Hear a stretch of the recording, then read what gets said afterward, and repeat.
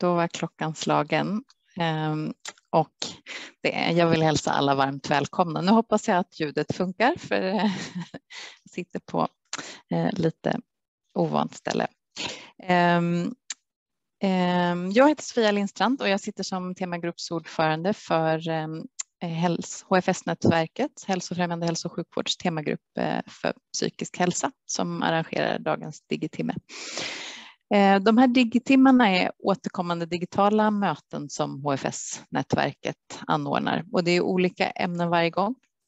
Ehm, och, ehm, men om det är något särskilt som ni vill lyssna på så får ni jättegärna höra av er till HFS-nätverkets sekretariat. Ehm, så för om det finns ämnen som ni gärna vill lyssna på.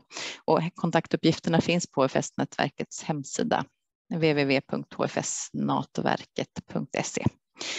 Eh, temagruppen psykisk hälsa har representanter från ett flertal av landets regioner och vi bevakar området psykisk hälsa. Eh, och där väljer vi ett par fokusområden per, per kalenderår som vi djupdyker i och omvärldsbevakar och har erfarenhetsutbyte kring. Eh, vi försöker också dela med oss av kunskapen till övriga HFS-nätverket som består av alla Sveriges regioner. Och om det är fler regioner som är, vill ha med en representant i HFS-nätverkets temagrupp för psykisk hälsa så får ni jättegärna höra av er och då finns det också kontaktuppgifter på HFS-nätverkets hemsida. Den här eh, digitimmen kommer att spelas in eh, och ni kan sedan hitta filmen tillsammans med annan dokumentation på hemsidan. Eh, på, där på hemsidan så hittar ni också material från tidigare digitimmar Eh, också inbjudningar till kommande möten. Ehm, under den här digitimmen så eh, får ni jättegärna ha mikrofonen avstängd när ni inte pratar. Eh, om ni har frågor eller inlägg i diskussionen så kan ni skriva dem i chatten och så fördelar vi ordet. Ehm, och tanken är att vi har en frågestund efter dragningarna i slutet, alltså på slutet av digitimmen 23 så att vi kör först alla digitimmar och så tar vi frågor efteråt. Då. Och temat idag är ju ofrivillig ensamhet och eh, med oss för att prata om det så har vi Kerstin Tillander som är socionom och suicidpreventionssamordnare i Uppsala kommun. Hon håller också på och skriver en lärobok om sambandet mellan sociala relationer och interventioner mot ensamhet.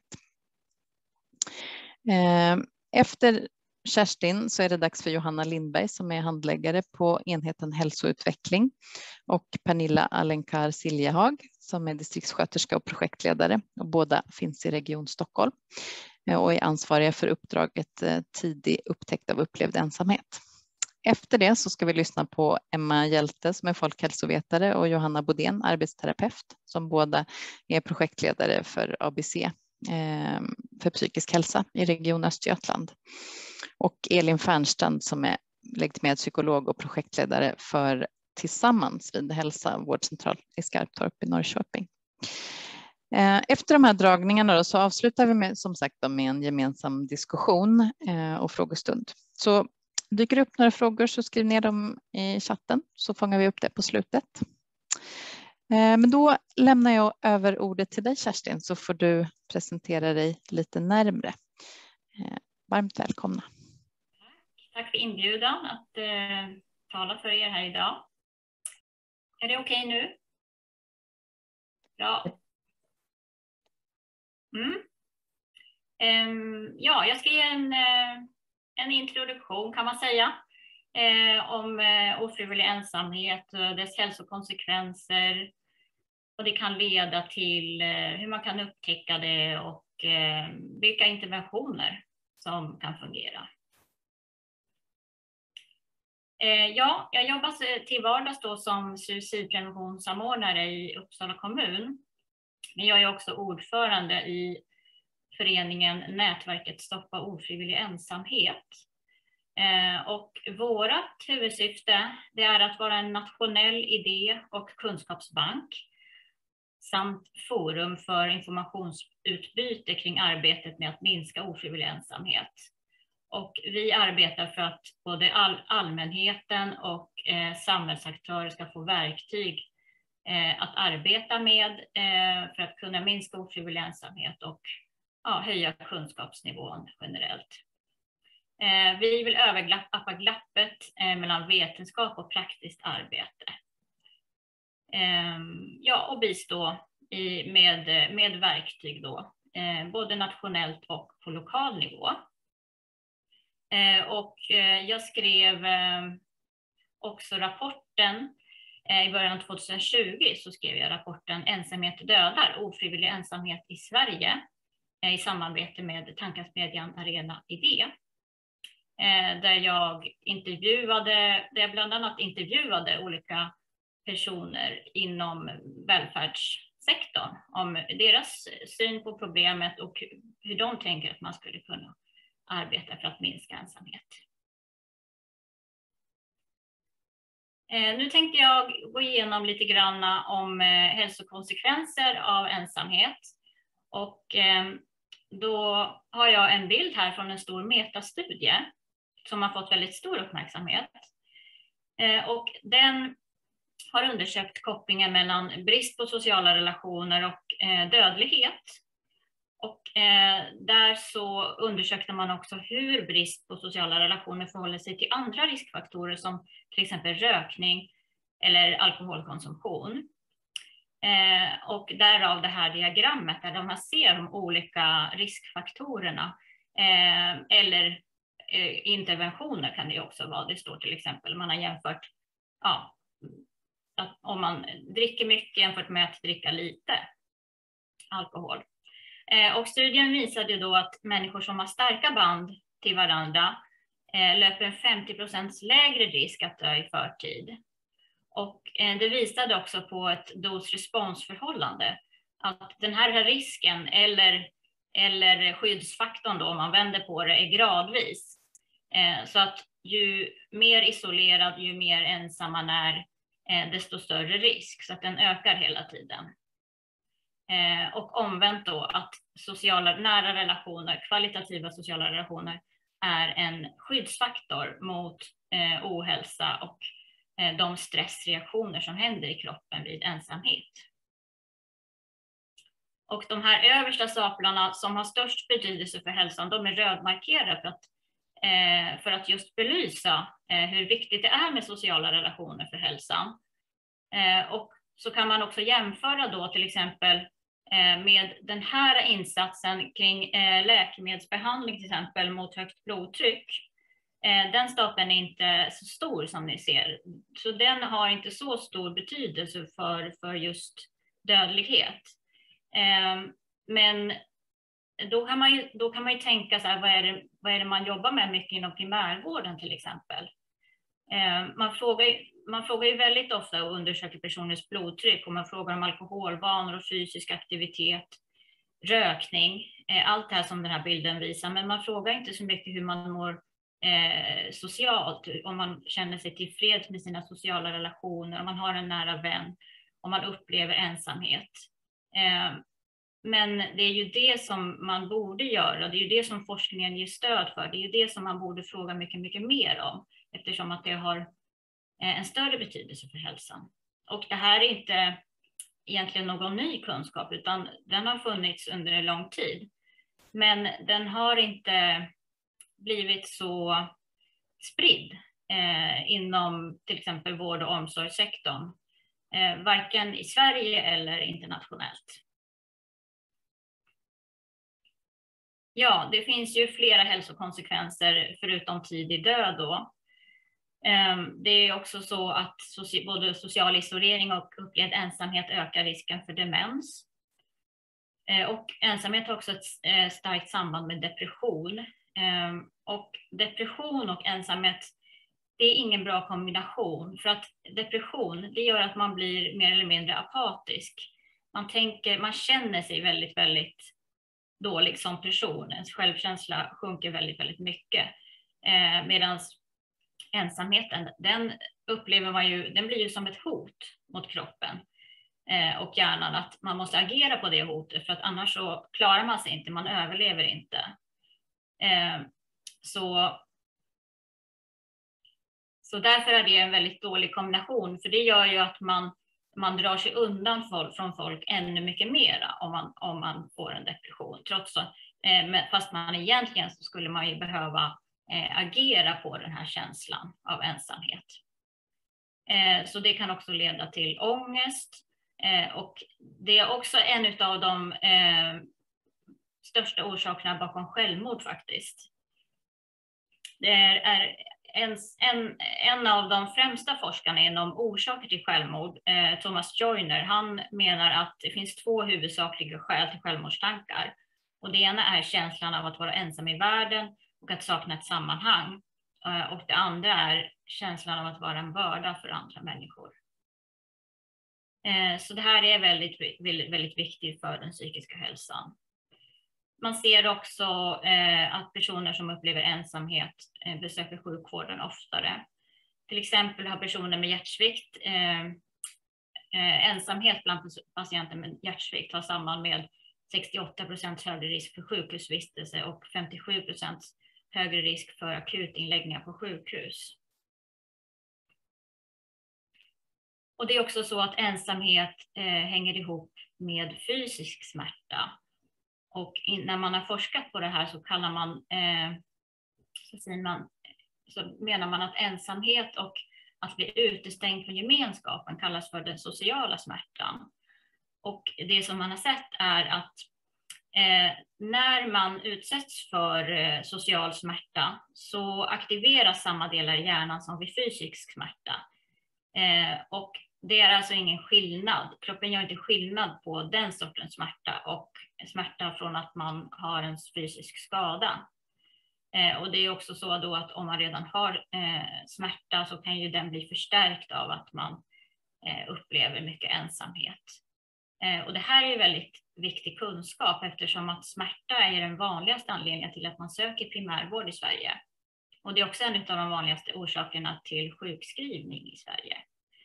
Och eh, den här forskaren som heter Naomi Eisenberger, hon har gjort eh, experiment för att kolla exakt vad som händer i hjärnan med magnetröntgen. Och då fick de här försökspersonerna spela ett virtuellt bollspel eh, där man, en person blir successivt utestängd eh, och får inte bollen till sig och den blir allt mer ignorerad och utestängd. Och så, så skannades eh, personernas eh, hjärnor samtidigt och då såg man att aktiviteten i det här smärtcentrumet, det, det var väldigt mycket eh, aktivitet där på samma sätt som när man slår sig för en fysisk skada. Eh, en eh, brittisk studie eh, har visat att eh, 76 procent av alla allmänläkare i primärvården alltså, de rapporterade att mellan en till fem patienter per dag kom till deras vårdcentral på grund av att de upplever sig vara ensamma. Så det visar just på det här att, eh, ja, att man söker helt enkelt mera sjukvård eh, när man känner sig ensam. Man kanske inte söker just för ensamhet, utan man kanske söker för andra psykiska eller fysiska symptom som ensamheten har lett till. Så det är väldigt viktigt då eh, att man helt enkelt frågar patienter om det sociala välbefinnandet. Och eh, det finns ju olika former av ensamhet och eh, när, man, när man forskar på ensamhet och hälsorisker så avser man eh, den ofrivilliga subjektiva ensamheten, alltså den upplevda ensamheten. Och den kan man också dela in i social ensamhet, eh, som, där man menar då brist på kvalitativa vänskapsrelationer. Och den känslomässiga ensamheten, Eh, det innebär eh, avsaknad av en nära partner eller vän som kan ge känslomässigt stöd. Och ensamhet det kan, man aldrig, det kan aldrig synas på utsidan av en människa, utan det kan vara, det är alltid det som är självupplevt eh, som har betydelse. Så det kan vara en person som utåt sett har en stor eh, social umgängeskrets, eh, vänner, eh, men den kan ändå känna sig ensam, kanske för att man inte har en riktigt nära vän eller partner eller man, ja, man känner inte den här ömsesidigheten i sina vänskapsrelationer som, som är så viktigt för att må bra. Ja, när människor då berättar om vad som betyder mest i deras liv så är det ju oftast relationer till andra människor. Eh, och då är det ju inte så konstigt att det också är det som påverkar hälsan mest av allt. Och då är frågan hur man kan använda den kunskapen mer i det praktiska arbetet inom vård och omsorg. Lite så som jag sa i den första bilden med det här stapeldiagrammet, att eh, vi kan fundera på om vi verkligen lägger tid på det, på det som betyder mest för människors hälsa. Eh, jag menar att man behöver se över sina rutiner, man behöver införa en rutin och skaffa verktyg för att kunna fråga patienten om deras socialbefinnande eh, liksom för livssituationen i övrigt, för att, få fatt, för, för, att få fatt i vad är det som är viktigt i den här personens liv. Ja, men då, och beroende på svaret så, då är det ju den saken eller de, vad det nu handlar om, som är också eh, väldigt viktigt för den här personens hälsa. Så det är väldigt individuellt. Men det vi vet är som sagt att sociala relationer, det är någonting som är viktigt för alla människor. Um, Ja, och det är ju patientens berättelse eh, och egen bild av problemet som har betydelse. Man kan inte mäta objektivt, för det syns som sagt inte på några undersökningar, utan man måste ha ett samtal. Och hur pratar man då om ensamhet? Det är många som tycker att det är väldigt svårt, eh, både de som själva upplever ensamhet, men också eh, personer runt omkring. Eh, det kan vara i nätverket eller det kan vara inom vården, till exempel psykologer och läkare. När jag intervjuade psykologer i min rapport så berättade den psykologen att ja, han och hans kollegor tyckte att det var väldigt obehagligt och obekvämt att fråga patienter om ensamhet, även om de såg att det var nog ett stort problem hos dem. För att det det väckte man var rädd att väcka obehag och skam hos den man frågade. Man förstod att det här var ett jobbigt ämne. Eh, och det är ju många som känner mycket skam för att uttala här, det här problemet inför andra och man blir väldigt blottad. Och det är inte så konstigt eftersom att om man eh, har jättesvårt att få nära vänner och känner att man hela tiden blir utestängd, då tolkar man ju det som ett tecken på att man inte är älskad. Och det gör ju jätte, jätte, jätteont. Och det vill man inte berätta för någon. Det vill man ju inte ens uttala för sig själv. Så hur ska man då kunna eh, berätta om det för en utomstående som frågar? Så det här är jätte, jättesvårt. Och om man då ska kunna få kunna svara ärligt, eh, då måste ju man ha en, en så pass trygg relation med den som frågar så att man så att man kan tänka sig att berätta om det här. Så man får ju verkligen gå försiktigt fram.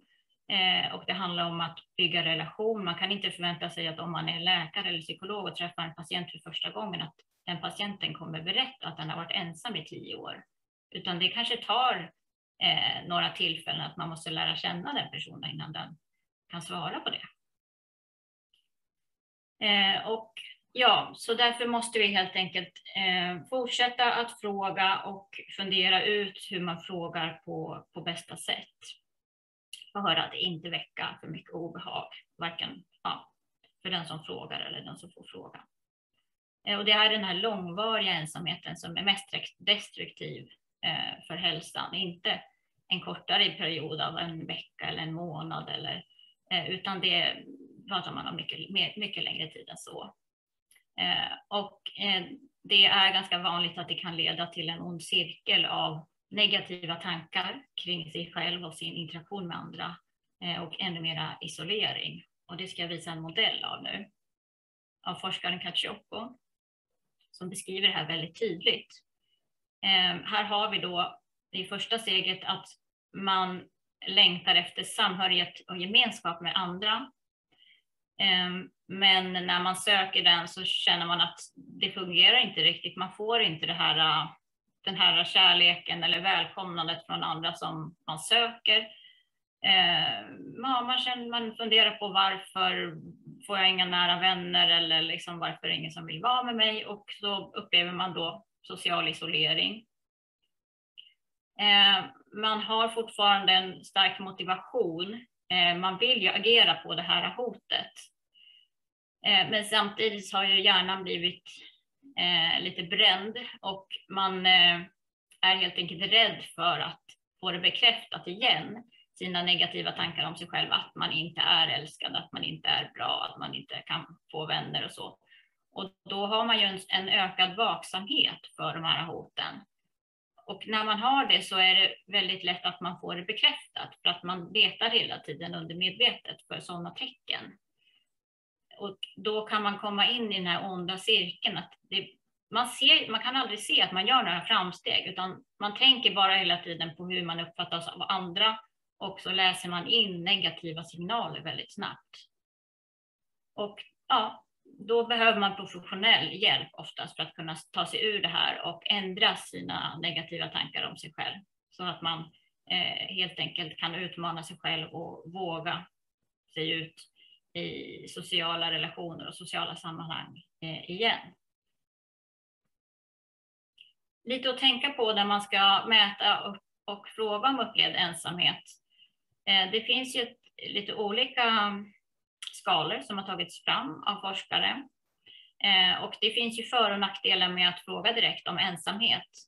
Och eh, en fördel är ju att man utmanar skammen kring ensamhet genom att just eh, man säger det bokstavligen. Känner du dig ensam och hur ofta känner du dig ensam? Och man frågar ganska många frågor om det där. Eh, men det är också risken då att man undervärderar sitt svar för att man kanske inte helt enkelt vill inte erkänna det eh, om man får frågan även om man, oavsett om man fyller i självskattat eller om man får frågan muntligt så kanske man inte svarar sanningsenligt. Och eh, i vissa skalor som den här eh, de Jong-skalan, eh, där finns det också olika frågor som, som visar om det är emotionell ensamhet eller om det är social ensamhet.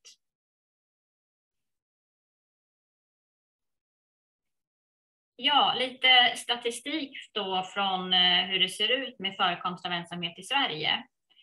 Ehm, det pratas väldigt mycket i media om att ensamhet drabbar äldre eh, och det gör den också, men den drabbar inte bara äldre. Men det kan man få en känsla av när man följer debatten och så. Ehm, men i verkligheten så är det så att ungdomar är den grupp som i, i, flera studier anger lika hög eller högre förekomst av ensamhet än personer över 70 eller, eller över 80. Egentligen är det personer som är över 80 som har, som har högst förekomst av ensamhet. Och det är, brukar vara mellan 11 och 13 procent eh, i undersökningarna av personer som är över 77. Det har varit en återkommande studie då i flera decennier av Lena Dahlberg som har visat på det här. Ehm, Folkhälsomyndigheten har ganska nyligen börjat fråga eh, om just en upplevd ensamhet i sin undersökning eh, skolbarns hälsovanor. Och eh, i den senaste då, då hade man med den frågan för första gången till 15-åringarna och det visade då att 11 procent av 15-åringarna angav att de ofta eller alltid känner sig ensamma. Och i samma undersökning då så var det 25 till 30 procent av de 15-åriga flickorna och mellan 40 och 50 procent av pojkarna som angav att de inte har några nära vänner som de får stöd av. Och internationellt, det är samma mönster, att det är tonåringar och det är personer över 80 år som upplever mer ensamhet än andra åldersgrupper. Ehm, och det finns också i alla fall en europeisk studie som, som har visat hur det ser ut med upplevd ensamhet runt om i olika länder och den visar att det är eh, mm, vanligare med eh, ensamhet i södra och östra Europa än i Sverige. Eh, och det är den här undersökningen. Eh, men då så kan jag säga att frågan ställdes så här. Eh, hur ofta under förra veckan kände du dig ensam? Så den handlar ju inte om hur det är jämnt vanligtvis, utan det handlar om en specifik, eh, den senaste perioden då. Eh, så att man får ju såklart olika svar på beroende på hur man ställer frågan. Eh, det är vanligare när man forskar om ensamhet att man frågar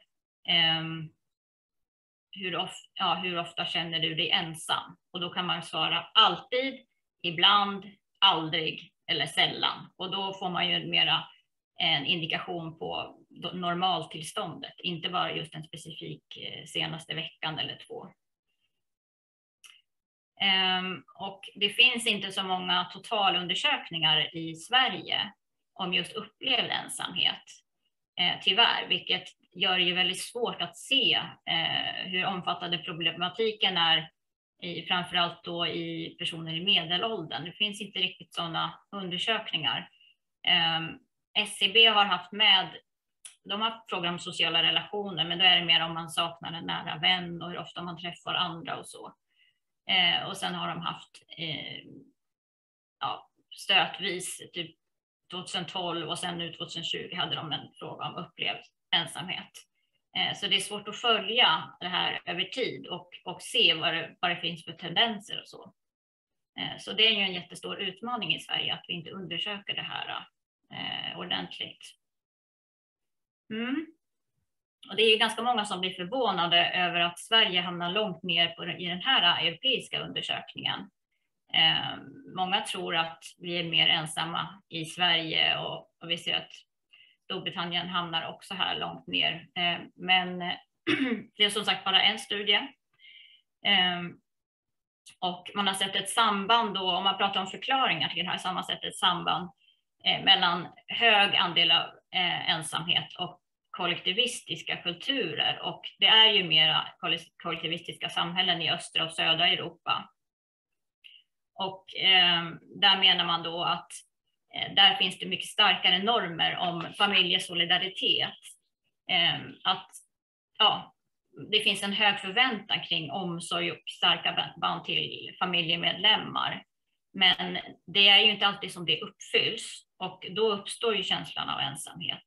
Medan då i individualistiska kulturer såsom Sverige och Nordeuropa Eh, där är man bättre på att skapa relationer utanför familjen och det är framförallt umgänge med vänner som har störst effekt i att minska ensamhet.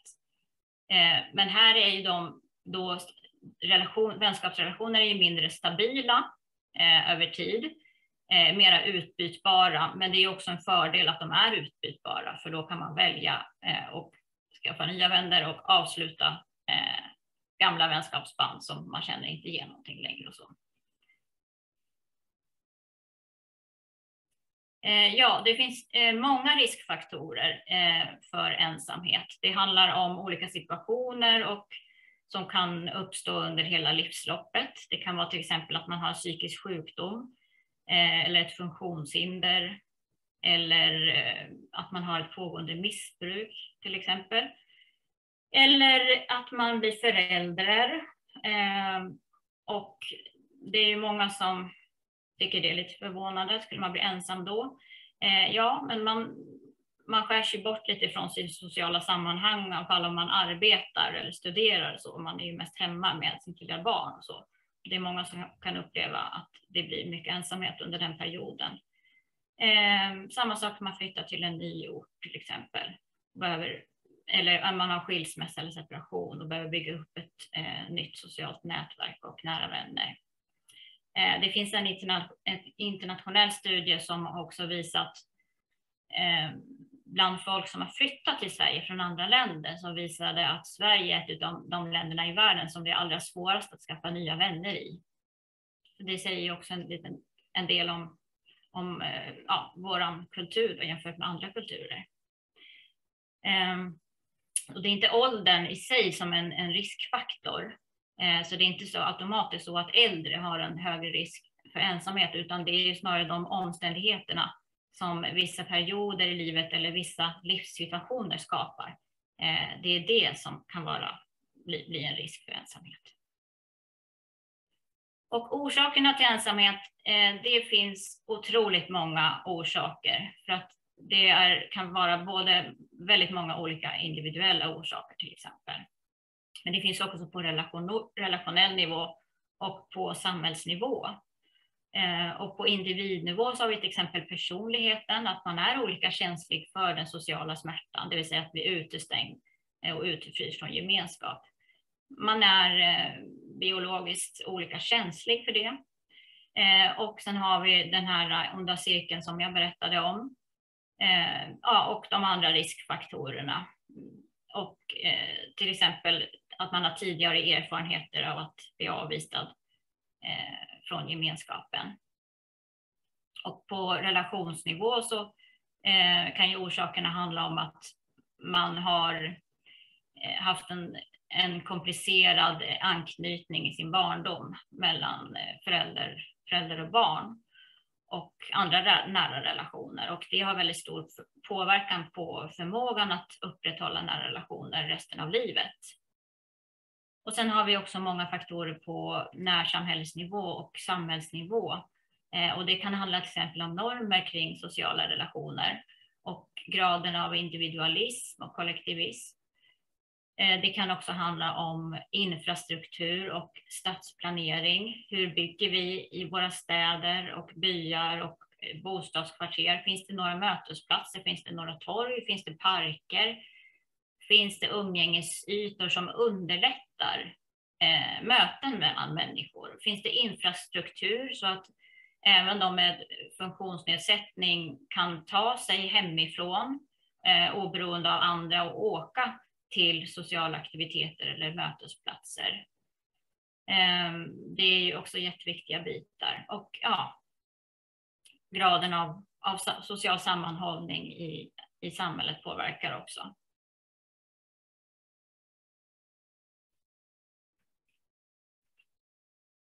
Ehm, ja, vad säger forskningen då om interventioner mot ofrivillig ensamhet? Ja, eftersom att orsakerna är så många och varierande så behövs det ju förstås eh, en bredd av interventioner också på flera olika nivåer, på de nivåerna som jag berättade om alldeles nyss. Och det finns ingen intervention som kan passa alla.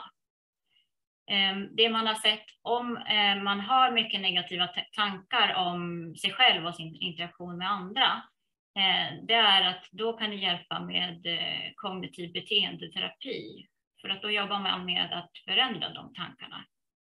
Och helt enkelt utmana sig själv ehm, att utsätta sig för det som man är rädd för, nämligen till exempel att prata med nya människor eller gå till en, ehm, till en aktivitet, en social aktivitet och så. Och eh, sen har, vi också, har det också visat sig framgångsrikt med social aktivitet på recept som är väldigt stort i Storbritannien om jag, som jag ska berätta om alldeles strax. Eh, för äldre så har man visat att kurser i digital teknik kan vara hjälpsamt för att då kan man hänga med lite grann i det nya sättet att umgås. Eh, och sen har vi också många olika slags samtalsgrupper som ju finns eh, till exempel för anhöriga som ger omsorg till en närstående eller för föräldrar som har barn med en viss diagnos eller en problematik eller så. Det finns många olika eh, i Sverige, både Sverige och andra länder har ju det och det, det kan också vara väldigt hjälpsamt. Och nu ska jag berätta lite om eh, social prescribing eh, som jag har här, här har jag översatt det till social förskrivning. Eh, och det handlar inte bara om social aktivitet eh, på recept, det här begreppet, utan det är mycket vidare än så. Eh, det handlar ju om att man, eh, en person som har en komplex eh, hälsosituation och där hälsan då beror på sociala orsaker. Det kan vara arbetslöshet, skulder, familjekonflikter eller ensamhet och social isolering. Till de patienterna så erbjuds den här insatsen eh, social förskrivning och beroende på vad, vad man har för livssituation så anpassas ju stödet utefter det. Eh, så det är ju, man kan beskriva det som att det är ett system för att lotsa patienter till icke-medicinska former av stöd i samhället. Eh, och det har blivit väldigt ehm, stort och utbyggt i Storbritannien där man nu har bestämt från, från statligt, där är primär, primärvården är ju statlig i Storbritannien, där man beslutat att, att social prescribing ska erbjudas på alla vårdcentraler i hela landet eh, 2023. Eh, och där, det kan, man kan också beskriva det som att det är en samverkan mellan primärvården, kommunen och den civila sektorn. Och eh, hälsolotsen har en väldigt avgörande roll. Jag ska berätta lite mer om hälsolottens eh, roll nu. Eh, det är så att eh, en läkare kan träffa en patient och screena, eh, ställa frågor om ensamhet och helt enkelt, ja, då kan det ju visa sig då Eh, att personer har svarat på det sättet så att man förstår att det här är ett problem. Ehm, och då så är det ju så att läkarna har ju bara väldigt, väldigt kort tid. De har bara tio minuter på sina besök i, i Storbritannien då. Ehm, så att det ligger inte på läkaren att eh, lotsa den här personen till sociala sammanhang eller att motivera den individen. Det är inte praktiskt genomförbart, utan istället så har man anställt en så kallad hälsolots eh, som läkaren remitterar patienten till. Och den lotsen har mycket tid att träffa den här patienten. Eh, den kan träffa den eh, fem, sex gånger och en timme varje gång. Eh, och den personens uppgift är inte bara att lotsa eh, till sociala sammanhang, utan det är väldigt mycket av att motivera individen till eh, Eh, att göra den förändring som, som behövs för just den personen. Ehm, och då får man ju helt enkelt kolla var befinner man sig i, på en skala? Har man varit ensam jättelänge och kanske hamnat i en ond cirkel, då behöver man ett visst sorts stöd. Men har man kanske bara nyligen blivit lämnad eller flyttat till en ny stad eller mist sin partner, Ehm, då kanske den personen egentligen bara vill ha, hitta mötesplatser eh, och träff, där man kan träffa nya människor och har inga problem eh, med att socialisera med nya och så. Då kan man eh, egentligen bara lotsa den personen till att hitta ett sammanhang där, de kan, där den kan hitta likasinnade. Så att lotsen behöver också lära känna personen och kolla vad den är intresserad av för att hitta ett bra sammanhang. Ehm, ja, man kan också träffas hemma hos personen eh, om det kan underlätta och ehm, det är jätteviktigt att man har kunskap då i motiverande samtal om man ska vara sån här lots. Och det skulle kunna motsvaras då av en kurator eller arbetsterapeut eh, i Sverige. Och de här lotsarna de sitter oftast på vårdcentralen eller i kommunens verksamhet av något slag.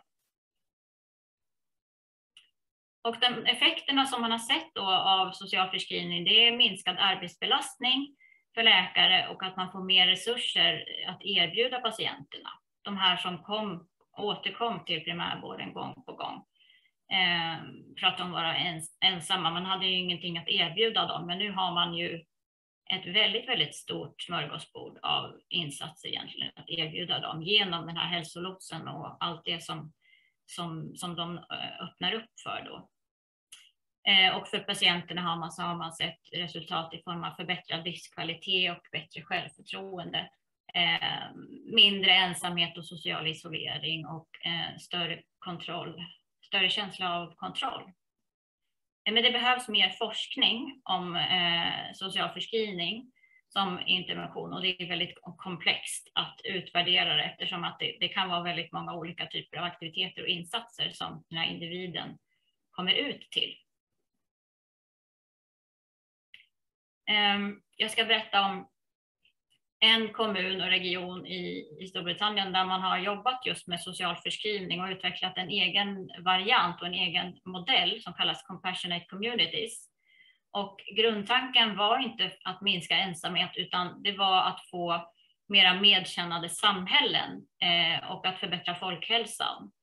Och här har man då eh, hälsolotsar som är integrerade i primärvården och som jobbar med att utveckla Eh, med så kallad social utveckling, community development, eh, i samhället där de då kartlägger vad det finns för typ av, vad finns det för föreningar, vad finns det för mötesplatser, vad finns det för grupper eh, och vad finns det inte? Vilka grupper är det som inte har någonting?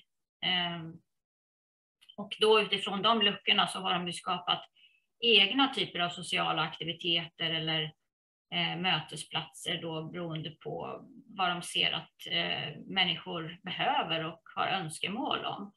Så att de driver ungefär 400 egna aktiviteter i kommunens regi. Ehm, och det är därför som det är ett exempel på hur många insatser, hur mycket det finns, kan finnas att välja på. Och de har också då skapat en hemsida eh, som läkare och sjukvårdspersonal har tillgång till, men också privatpersoner där de har listat i bokstavsordning alla typer av eh, föreningar och mötesplatser eh, som finns i, i den staden. Och man jobbar mycket med den här holistiska synen på hälsa, att patienten är en person och inte en viss diagnos. Eh, så att man, man måste kolla mycket på personens livssituation i, i övrigt då, och önskemål eh, om förändring. Vad, vad är viktigt för just dig? Vad är, det, vad är det som du mår bra av? Vad är det, du som mår, vad är det som du mår dåligt av? Eh, lite det som jag pratade om i början, att det är, ju, det är ju patientens egen problemformulering som är det som man ska jobba ut efter. Um, och det är för, må för många är, räcker det ju som sagt inte att man, man tipsar eller ger en broschyr om vad det finns för sociala sammanhang, utan problemet är ju att man ska ha motivationen och eh, modet eh, att gå dit. Och det är inte säkert att man känner sig välkomnad, bara, även om man går till någonstans där man delar ett intresse för, med andra så är det inte säkert att man kan träffa nya vänner och känna sig välkomnad. Det kan ju finnas redan att det är mycket grupperingar dit man går och så. Så det är väldigt viktigt eh, att, att det är, finns en bra och öppen och välkomnande stämning till den gruppen man går till. Um, ja, och det här är också en, en, annan viktig del är att man jobbar tvärprofessionellt i, i team kring patienter med svåra hälsosituationer eh, eller livssituationer då. Att eh, till exempel läkare och psykologer, kuratorer, hälsolotsar och även socialsekreterare kan jobba tillsammans och de, de sitter också tillsammans. Eh, på till exempel vårdcentralen så har man tvärprofessionella team då att man har bjudit in socialarbetare från, från socialförvaltningen så att man, man är på fysiskt samma plats och det har ju underlättat för samarbetet enormt mycket. Också att man förstår varandras uppdrag lite, lite bättre. Ehm, och det som hände då i From var att man för, lyckades förbättra folkhälsan avsevärt. Eh, och det visade sig då genom att eh, akuta sjukvårdsbesöken i From gick ner eh, med 15 procent eh, på några år enligt den här grafen, medan i den resterande delen av regionen så var det tvärtom att akuta sjukvårdsbesöken eh, ökade under samma period. Eh, så det, det ledde till då besparade vårdkostnader och bättre folkhälsa för alla åldersgrupper såg man. Och för varje pund som man investerade i den här eh, arbetsmetoden så fick man sex pund tillbaka i form av minskade vårdkostnader. Eh, men det är väldigt viktigt och det lyfter de ofta fram att besparingar var ju inte målet med den här modellen utan man ville hitta ett sätt helt enkelt att få folk att bli friskare och må bättre och att man brydde sig mer om varandra i, i den här staden. Och förutom de här anställda lotsarna på, på vårdcentralerna så hade man också eh, volontärutbildade lotsar som fick en, bara en jättekort introduktion eller utbildning kring att vara en slags eh, light-version av den här lotsen. Och det var personer som jobbade ute i kommunen eller i, i civilsamhället eller ja, med vad som helst där man träffade folk. Det kunde vara poliser eller frisörer eller kafébiträden, eh, sociala eh, arbeten där man ofta pratar med människor. Och, eh, då fick de i uppdrag att de skulle kunna eh, tipsa när de träffar en person som de förstår har lite tunt nätverk eller känner sig ensam. Att man kan då Eh, tipsa om eh, var man kan få stöd, vilka typer av aktiviteter och grupper man, man kan vara med i. Och, ja, och det här var ju en stor del av deras framgång, att de hade så många av de här lotsarna, både ute i samhället och inom vården. Jag kollar bara på klockan här så att jag, ni får avbryta mig om, om, om ni känner att tiden är ute. Um, Ja, och lite grann om eh, social socialförskrivning i Sverige då.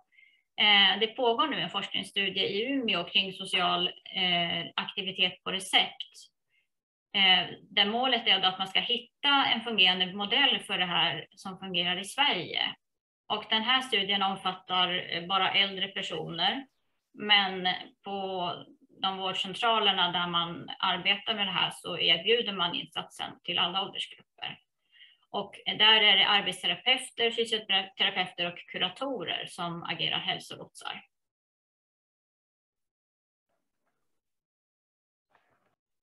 Och lite har jag tagit med kring primärvårdsreformen eh, nära vård också. Ehm, för att arbetet med social förskrivning eh, ligger väldigt mycket i linje med eh, det som man lyfter fram i utredningen som är viktigt. Eh, och det är den personcentrerade vården och att man har kontinuerliga vårdkontakter. Ehm, och det är ju en förutsättning som jag berättade om i början för att man ska kunna få det förtroendet till någon eh, inom vård och omsorg då att man kan prata om svåra eh, ämnen som ensamhet. Det går ju inte om man träffar nya läkare varje gång, då får man ju aldrig den relationen. Eller det blir väldigt svårt i alla fall. Eh, och i utredningen så lyfter man ju också fram att ansvaret för psykisk ohälsa ska tydliggöras i hälso och sjukvårdslagen. Så alla de här eh, är ju viktiga förutsättningar för att kunna fånga upp ofrivillig ensamhet. Eh, och för att eh, potentiellt skulle kunna jobba då med den här interventionen social förskrivning. Nu går vi vidare. Ehm, Ja, hur kan Sverige arbeta vidare med det här då?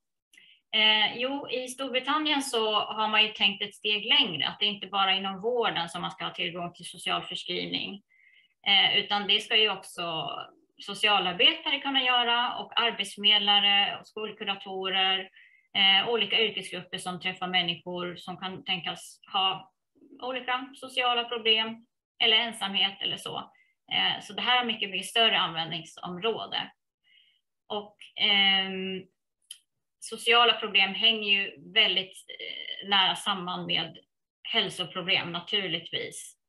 Och eh, jag menar att så här skulle man kunna jobba i Sverige också, att man, eh, man breddar den här eh, interventionen och insatsen till många flera yrkesgrupper så att fler skulle ha, ha, ha tillgång till det här. Och Ehm, då har jag ritat upp den här modellen där man, där man ser eh, vilka som är de här aktörerna som eh, skulle kunna tänkas att möta ehm, personer som lider av ensamhet. Det kan vara ungdomsmottagningar eller socialtjänst. Ehm, det kan vara psykiatrin, det kan vara kommunala mötesplatser, elevhälsa, ideella organisationer, ja alla de här. Eh, primärvården förstås. Eh, att, eh, om man skulle ha den här interventionen, social aktivitet på recept eller social förskrivning, så behöver alla de som jobbar här kunna remittera till en hälsolots. Och de som jobbar med den sociala utvecklingen i, på den här orten behöver fånga upp behov av vad det finns för behov av social utveckling för alla de här målgrupperna. Både unga, medelålders äldre personer. Så till exempel eh, om en socialsekreterare träffar en kvinna som har blivit utsatt eh, för våld och hot eh, och upptäcker att ja, det, hon känner sig väldigt, väldigt isolerad, men hon har, det finns ingen typ av förening eller grupp för personer som är, är utsatta för det som hon är. Eh, då är ju det en signal att vi behöver utveckla någonting för den målgruppen. Eller att man ser till exempel att man, man träffar väldigt många äldre som har mist eh, en partner, men det finns ingen grupp för sorgebearbetning i den här staden. Eh, ja, då är det det som man behöver utveckla, eh, precis som man gjorde i From då.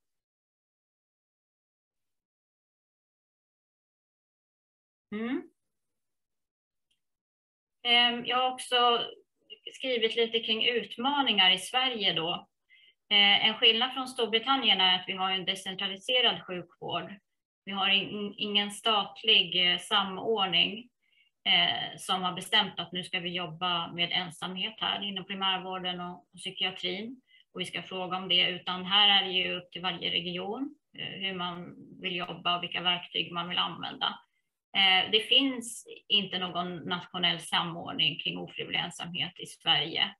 Ehm, det är inte så att vi har någon nationell strategi mot ensamhet, eh, så som vi har mot suicid till exempel. Och i Storbritannien har man ju just en nationell eh, strategi mot ensamhet som, ja, som gäller för alla aktörer i samhället. Det är både politiken och näringslivet, regioner och kommuner och civilsamhället. Men vi har inte kommit så, så långt i Sverige ännu. Och eh, då har vi inte heller någon nationell aktör som till exempel Folkhälsomyndigheten som ger verktyg till kommuner och regioner hur man kan arbeta. Utan det är ju så att de som jobbar med det här får ju prova sig fram lite själva. Ehm, och en annan utmaning är ju att det är mycket, mycket förenat med skam, som jag pratade om i början där, att det, det är svårt att få folk att berätta och det är svårt att fråga. Eh, och att det saknas eh, återkommande nationella totalundersökningar om upplevd ensamhet. Och det är eh, olika mätverktyg och skalor som används i de undersökningar som finns. Så det är svårt att följa över tid och jämföra olika undersökningar eh, med varandra. Mm. Tack. Nu lämnar jag över ordet tillbaka till er. Tack Kerstin. Ehm, det var jättespännande. Jag... Nu hör ni mig kanske. Hör ni mig nu? Nu, jag glömde ja, ja. det. Ja. Eh, stort tack Kerstin, det var jättespännande. Jag hade inte, det var nytt för mig det här om att det var mer ofrivillig ensamhet i södra Europa och så. Det var ju lite spännande tycker jag. Då tar vi en paus. Tack att vi kan köra igång och då är det dags för eh, Johanna Lindberg och Pernilla Alenkar Siljahag. Eh, varsågoda. Ja, tack. Ni hör mig ordentligt? Bra. Eh, jag ska ge en bakgrund och inledning till eh, ensamhetsprojektet med pilot eh, som eh, pågår i Region Stockholm. Eh, och därefter så kommer Pernilla att prata mer specifikt om piloten som är en del, fast en väldigt viktig del i ensamhetsprojektet. Eh, och jag heter Johanna Lindberg och finns då på hälso och sjukvårdsförvaltningen i Region Stockholm, på avdelningen kunskapsutveckling och på enheten hälsoutveckling. Och bakgrunden till ensamhetsprojektet är ett politiskt uppdrag från hälso och sjukvårdsnämnden till hälso och sjukvårdsförvaltningen där jag arbetar. Och det löper eh, 2019 till årets slut. Eh, och uppdraget består i att pilottesta arbetssätt för primärvården, att identifiera ensamhet bland äldre och sen att slussa de här patienterna vidare i samverkan med kommun och civilsamhälle.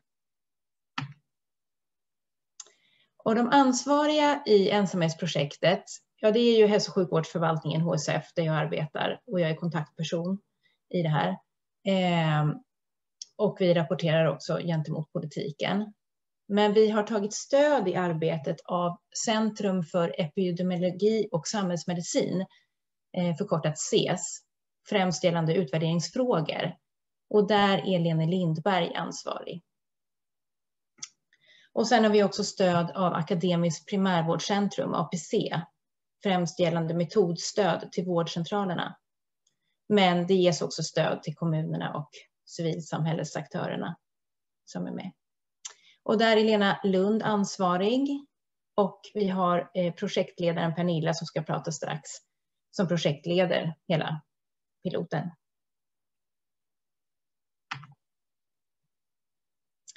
Och inom ensamhetsprojektet då så har vi tagit fram ett pilotprojekt med ett antal vårdcentraler och kommuner eh, med civilsamhället inkluderat.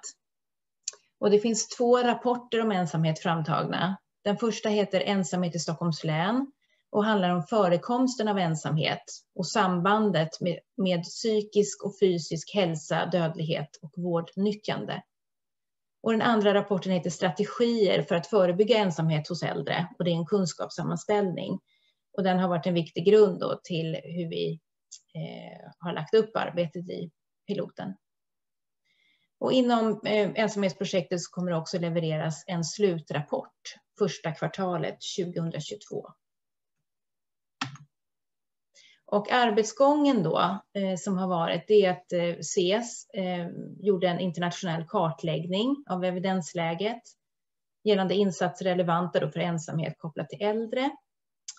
Och i samverkan och avstämning med en referensgrupp och politiker så framkom det att bedömningsverktyget de Jong Gerwald var bäst lämpat för, efter då Region Stockholms förutsättningar. Eh, och det var det verktyget som eh, Kerstin Tillander eh, nämnde, som inte egentligen nämner eh, ordet ensamhet, eh, men ändå fångar in ensamhet på olika sätt genom sex frågor. Och den har då översatts till svenska.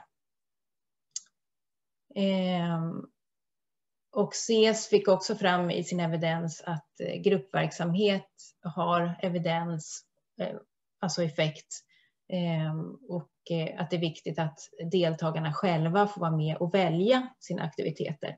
Så det har vi tagit med då i piloten. Eh, och i den här referensgruppen, eh, det har varit väldigt framgångsrikt att ha den här referensgruppen som då hjälpte till att ta fram piloten men den finns faktiskt fortfarande och, och träffas även nu eh, när piloten pågår eh, och fyller då funktionen att man kan byta erfarenheter eh, om hur piloten går. Eh, utöver att Pernilla handleder aktörerna lite mer individuellt i projektet. Och I referensgruppen då så består den består av representanter från CES, APC, eh, hälso och sjukvårdsförvaltningen, regionala programområdet äldre, alltså RPO äldre inom kunskapsorganisationen, Eh, äldre FoUer, vårdcentraler, kommuner och frivilligsektorn eller civilsamhället. Eh, de vårdcentraler med kommuner som sedan tillfrågades att vara med i piloten, eh, de valdes ut utifrån en sammanvägning av geografisk spridning i regionen, om man hade en stor andel listade äldre på sin vårdcentral, eh, intresse i fråga, frågan och erfarenhet av tidigare arbete med ensamhet och eller äldre. Och de deltagande aktörerna i piloten då, det är Gustavsbergs vårdcentral och Värmdö kommunområde. Och i kommunområdet så innefattar även civilsamhället. Eh, Östra vårdcentralen och Upplands Väsby kommunområde och Hässelby vårdcentral och Stockholms stad och närmare bestämt då Hässelby-Vällingby stadsdelsområde. Och Forum vårdcentral och Nacka kommunområde. Eh, fortsättning av arbete med ensamhet efter 2021 och när projektet är slut. Ja, det finns i Region Stockholm eh, planering för att fortsätta arbeta med ensamhet under 2022. Eh, dels att sprida arbetssättet från piloten då till flera vårdcentraler. Och dels att titta på möjligheten att inkludera fler målgrupper. Kerstin Tillander eh, lyfter ju just det att eh, unga eh, till exempel har en hög förekomst av ensamhet. Och det här gör vi då utifrån, eller motiverat då, eh, eh, genom att hälso och sjukvårdsnämnden i sin budget 2022 har att arbeta med ensamhet. Eh, och det finns också eh, hälso och sjukvårdsnämnds beslut eh, som har tagits längs vägen här. Eh, att man ska eh, utöka eh, ensamhetsarbetet för äldre som en covid-insats. Eh, och så har det varit beslut om medel och så. Eh, och även de här rapporterna som jag nämnde motiverar ju också då att arbeta med ensamhet. Så. Eh, ja, det var det jag hade och sen så får Pernilla ta vid.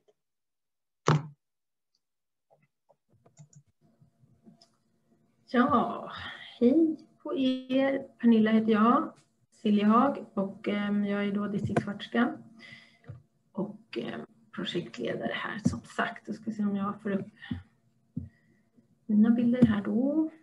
Nu. Så. Blev det någon ny bild? Ja. Ja, lite kort. Nu, Johanna har gjort en, eh, fantastisk introduktion här för mig, men jag bara säger lite kort då att det var ju det här som vi hade för syfte när vi skapade det här pilotprojektet som vi har kallat då tidig upptäckt av upplevd ensamhet. Och det var att se om man kunde upptäcka och minska upplevelser av ensamhet bland personer 65 år och äldre i ett samarbete mellan vårdcentral och kommun civilsamhälle.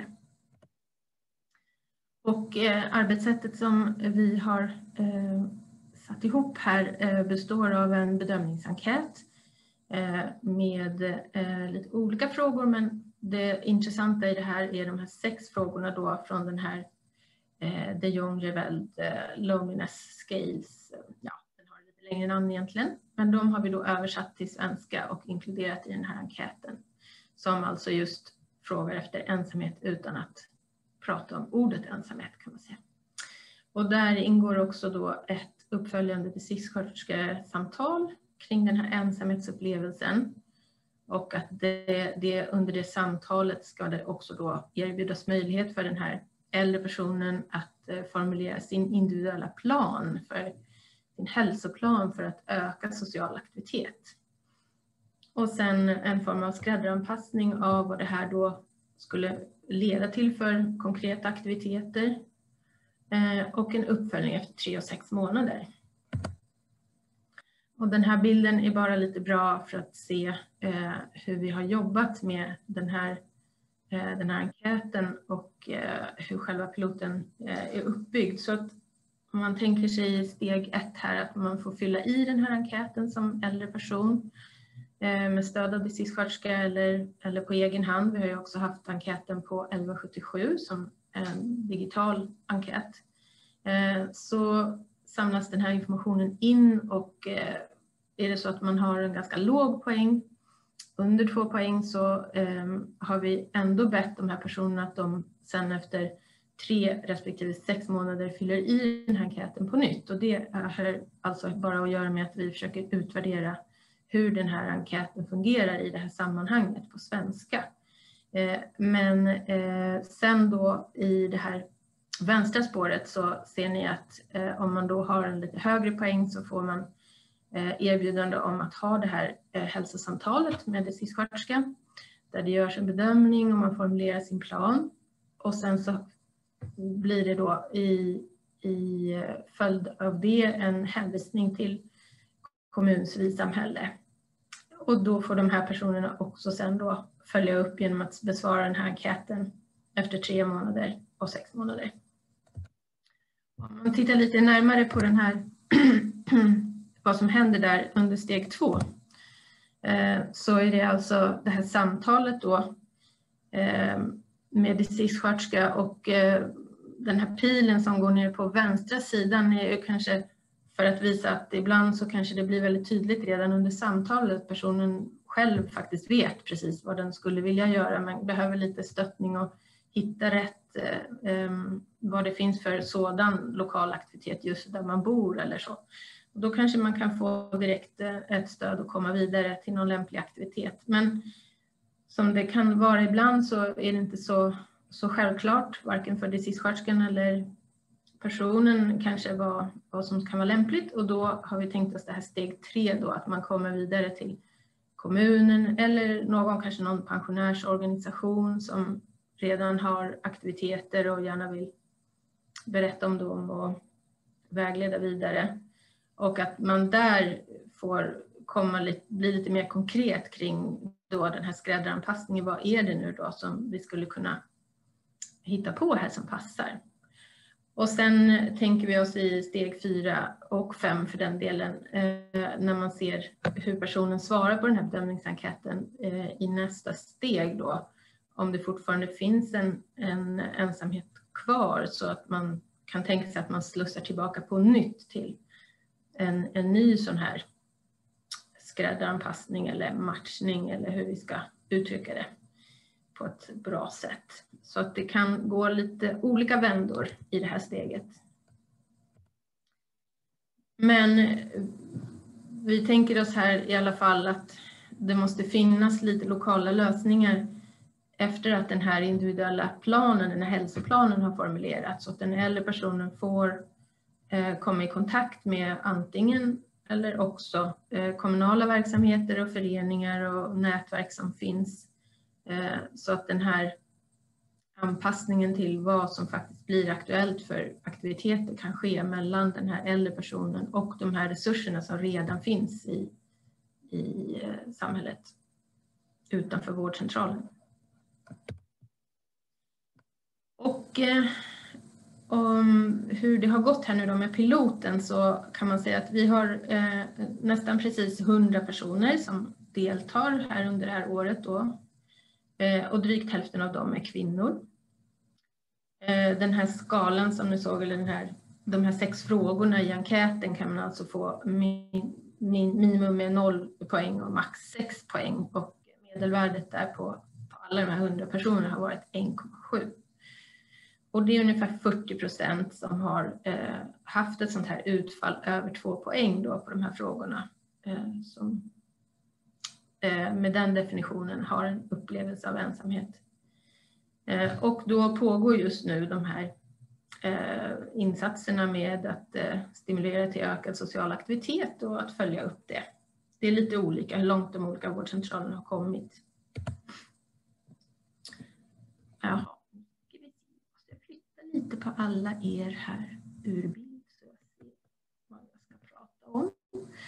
Ehm, vi gjorde en liten sån här sammanställning för att jämföra lite siffrorna ehm, mellan den, de här 40 procenten då, den här gruppen av deltagare som hade två poäng eller mer som är den här eh, högra kolumnen som ni ser. Så det Eh, ska säga, det är ju kvinnorna där som är lite fler än hälften som ni ser i bägge grupperna. Och, eh, däremot så är det faktiskt lite fler eller lite större andel som är 80 år och äldre när man tittar på hela eh, gruppen deltagare mot eh, vad det är i bara de här, eh, den här gruppen som har två poäng eller fler. Men annars så är det ju faktiskt fler då som är, ja, lever ensamma, man säger, inte upplever sig ensamma nödvändigtvis, men som lever ensamma i den här gruppen som också har en ensamhetsupplevelse jämfört med hela gruppen. Eh, och det är färre som, då, då som, är, som är gifta eller är sammanboende med partner. Ensamhushåll, där är det också fler i den här gruppen eh, som har två poäng eller mer på den här enkäten. Eh, och eget boende, den, den frågan rör alltså om man, har, om man bor i ett serviceboende eller ett äldreboende kontra ett eget boende. Då. Eh, så där, där var det ju ganska lika Eh, på siffran som vi hittade då i de här, om man jämför grupperna. Eh, och det är något fler av de här som har eh, två poäng eller fler på enkäten som också har då hemtjänst eller insatser från hemsjukvård. Ehm, och det är något färre som har gått så länge i skolan som minst 12 år. Så det är li lite siffror sådär som kanske bara ger en bild av eh, vilka vi har hittat här. Och så ska man komma ihåg att det är en väldigt liten grupp naturligtvis. 100 personer är ingenting, 40 personer är ännu färre. Så det är inte någonting som säger något utanför det här projektet, men i alla fall så att man kan ha lite siffror på just vår, vår lilla grupp. Och de här i den här vår lilla grupp är då alltså drygt hälften kvinnor, drygt en tredjedel är 80 år eller äldre. Och merparten som sagt eh, är ensamstående och lever i ensamhushåll. Och nästan alla som ni såg där, 95 procent, eh, bor ju i eget boende då. Drygt en tredjedel har hemtjänst eller, och, eller hemsjukvård och knappt hälften har gått minst 12 år i skola. Så det är ungefär de siffrorna vi tittade på där innan. Eh, vi hade också med några frågor i den här enkäten då om eh, hälsa och social situation. Ehm, och om man bara tittar på den här gruppen då som hade två poäng eller fler på enkäten så är det fler av dem som skattar hälsan som dålig och flera hade också jämfört med hela gruppen då svårt med eh, ADL, alltså eh, som, vad säger man, activity in daily living. Jag kan inte den där exakt formuleringen, ni vet. Eh, och det var flera som träffade familj eh, och, eller vänner mer sällan då, både fysiskt och, eh, om man fick svara på hur, hur mycket man umgicks över telefon och internet. Ehm, och vi hade också med i den här enkäten en fråga som är identisk med en fråga som finns i folkhälsoenkäten som är väldigt eh, direkt. Den lyder väl ehm, i, i vilken mån besväras du av ensamhet i princip och så är det en femskalig eh, svarsskala eh, på det där. Och det är också fler som har svarat eh, att de upplever ensamhet då på den frågan. Eh, och det var färre eh, i den här gruppen, eh, de här 40 procenten då som deltog i förening eller någon annan typ av grupp tre månader innan projektstart. Eh, och då har vi också ställt eh, några frågor här nu eh, i slutfasen av piloten till de som har deltagit, alltså distriktssköterskor som har jobbat på vårdcentral med det här projektet, kontaktpersoner inom kommunen och i civilsamhället, pensionärsföreningar. Och det de säger är när det gäller det här projektet då att de ser ju att det är väldigt viktigt för att få att samverkan ska bli bra, att man har just ett gemensamt mål. Att, att det alla, alla de här tre parterna upplever att just ensamhet är en viktig fråga, att det, det finns vinster för alla tre grupper att göra det här, att jobba med det här. Eh, och att det finns en tydlig nytta med att man kan hitta ett systematiskt arbetssätt på det här sättet, till exempel på det här sättet som piloten har föreslagit just kring den här frågan med ensamhet. Det, det är liksom eftertraktat. Eh, och man säger att, eh, att just sjukvården involverad eh, ger mandat i projektet. Alltså det, både eh, föreningslivet och eh, de som jobbar inom kommunen ser en, en poäng med det här. Ehm, och eh, det var också så att personer på vårdcentralsnivå ville lyfta fram att det finns en väldigt god kompetens inom kommunala verksamheter att jobba med den här gruppen och att eh, ta hand om den här typen av problematik. Så att det har varit eh, givande att jobba tillsammans kring den här frågan. Och civilsamhället vill lyfta fram att det, man tyckte att det man upplevde att framförallt på vård, vårdcentralsnivå att det fanns eh, lite luckor där eh, i kunskap om vad, vad, det faktiskt finns för resurser ute i civilsamhället. Um, och det som man kan säga också kanske att ta med sig är väl från piloten att eh, det är lite svårt att, att etablera ett arbetssätt som liksom inte inte, som bara riktar sig än så länge till en mindre grupp och så måste det ju vara i ett pilotstadium men eh, det, det är ju um, lite svårt att um, gå ut och informera i alla kommuner eller på alla pensionärsföreningar om något som bara kan erbjudas för en mindre skara.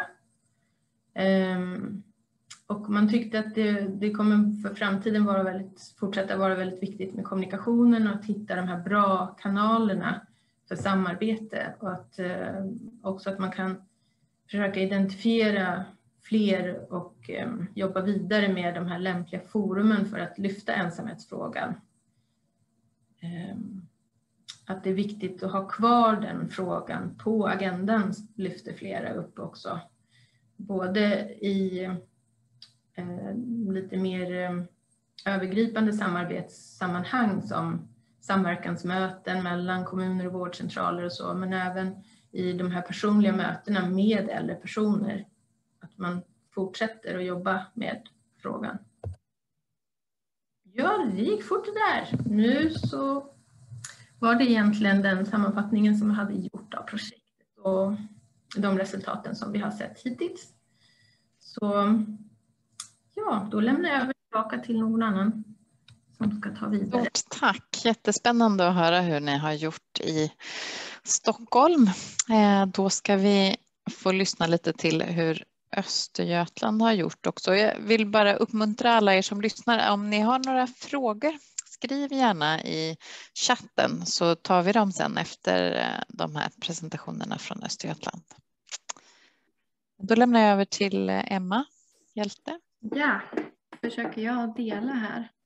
Ser ni mina bilder nu? Jag såg någon som nickade. Bra. Ja, eh, jag skulle haft med mig min kollega Johanna Bodén idag också, men hon har tyvärr blivit sjuk så ni får hålla till godo med mig idag. Eh, men jag heter då Emma Hjälte och jag är folkhälsovetare på Folkhälso och statistikenheten i Region Östergötland. Och jag ska berätta lite kort om ett nytt initiativ som vi har startat här, eh, Eh, som vi har valt att kalla ABC för god psykisk hälsa. Eh, och det här initiativet det går ut på att främja psykisk hälsa i befolkningen. Eh, dels genom att sprida kunskap om vad man själv kan göra för att stärka sitt psykiska välmående.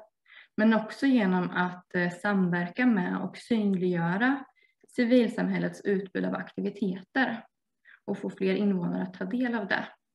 Så också det här om att lotsa till civilsamhället som många av exemplen innan har handlat om. Och eh, de första åren av uppdraget här i Östergötland så har vi valt också att fokusera på personer över 65 år. Och bakgrunden till att vi har fått det här uppdraget från vår hälso och sjukvårdsnämnd, det handlar ju om den psykiska ohälsan som är en jättestor samhällsutmaning som vi ännu inte riktigt har fått, uh, fått bukt med. Eh, och där är ju ofrivillig ensamhet en av flera eh, riskfaktorer bakom den psykiska ohälsan. Eh, och precis som i Stockholm så har man också uppmärksammat just gruppen äldre och sett att de har drabbats extra hårt nu av smittskyddsåtgärderna under pandemin. Så därför har vi då valt att fokusera extra på dem nu till en början. Men sen på sikt är tanken att, att vi kommer rikta vårt arbete till fler åldersgrupper här i Östergötland. Eh, Eh, och eh, eh, även om vi har ofrivillig ensamhet som en bakgrund till det här projektet så kommer vi ha vårt fokus på just att främja psykisk hälsa och prata om det. Eh, och då så lutar vi oss mot WHOs definition av psykisk ohälsa som ju både eh, beskriver att det handlar om både hur man mår psykiskt men också att man kan fungera och bidra till samhället.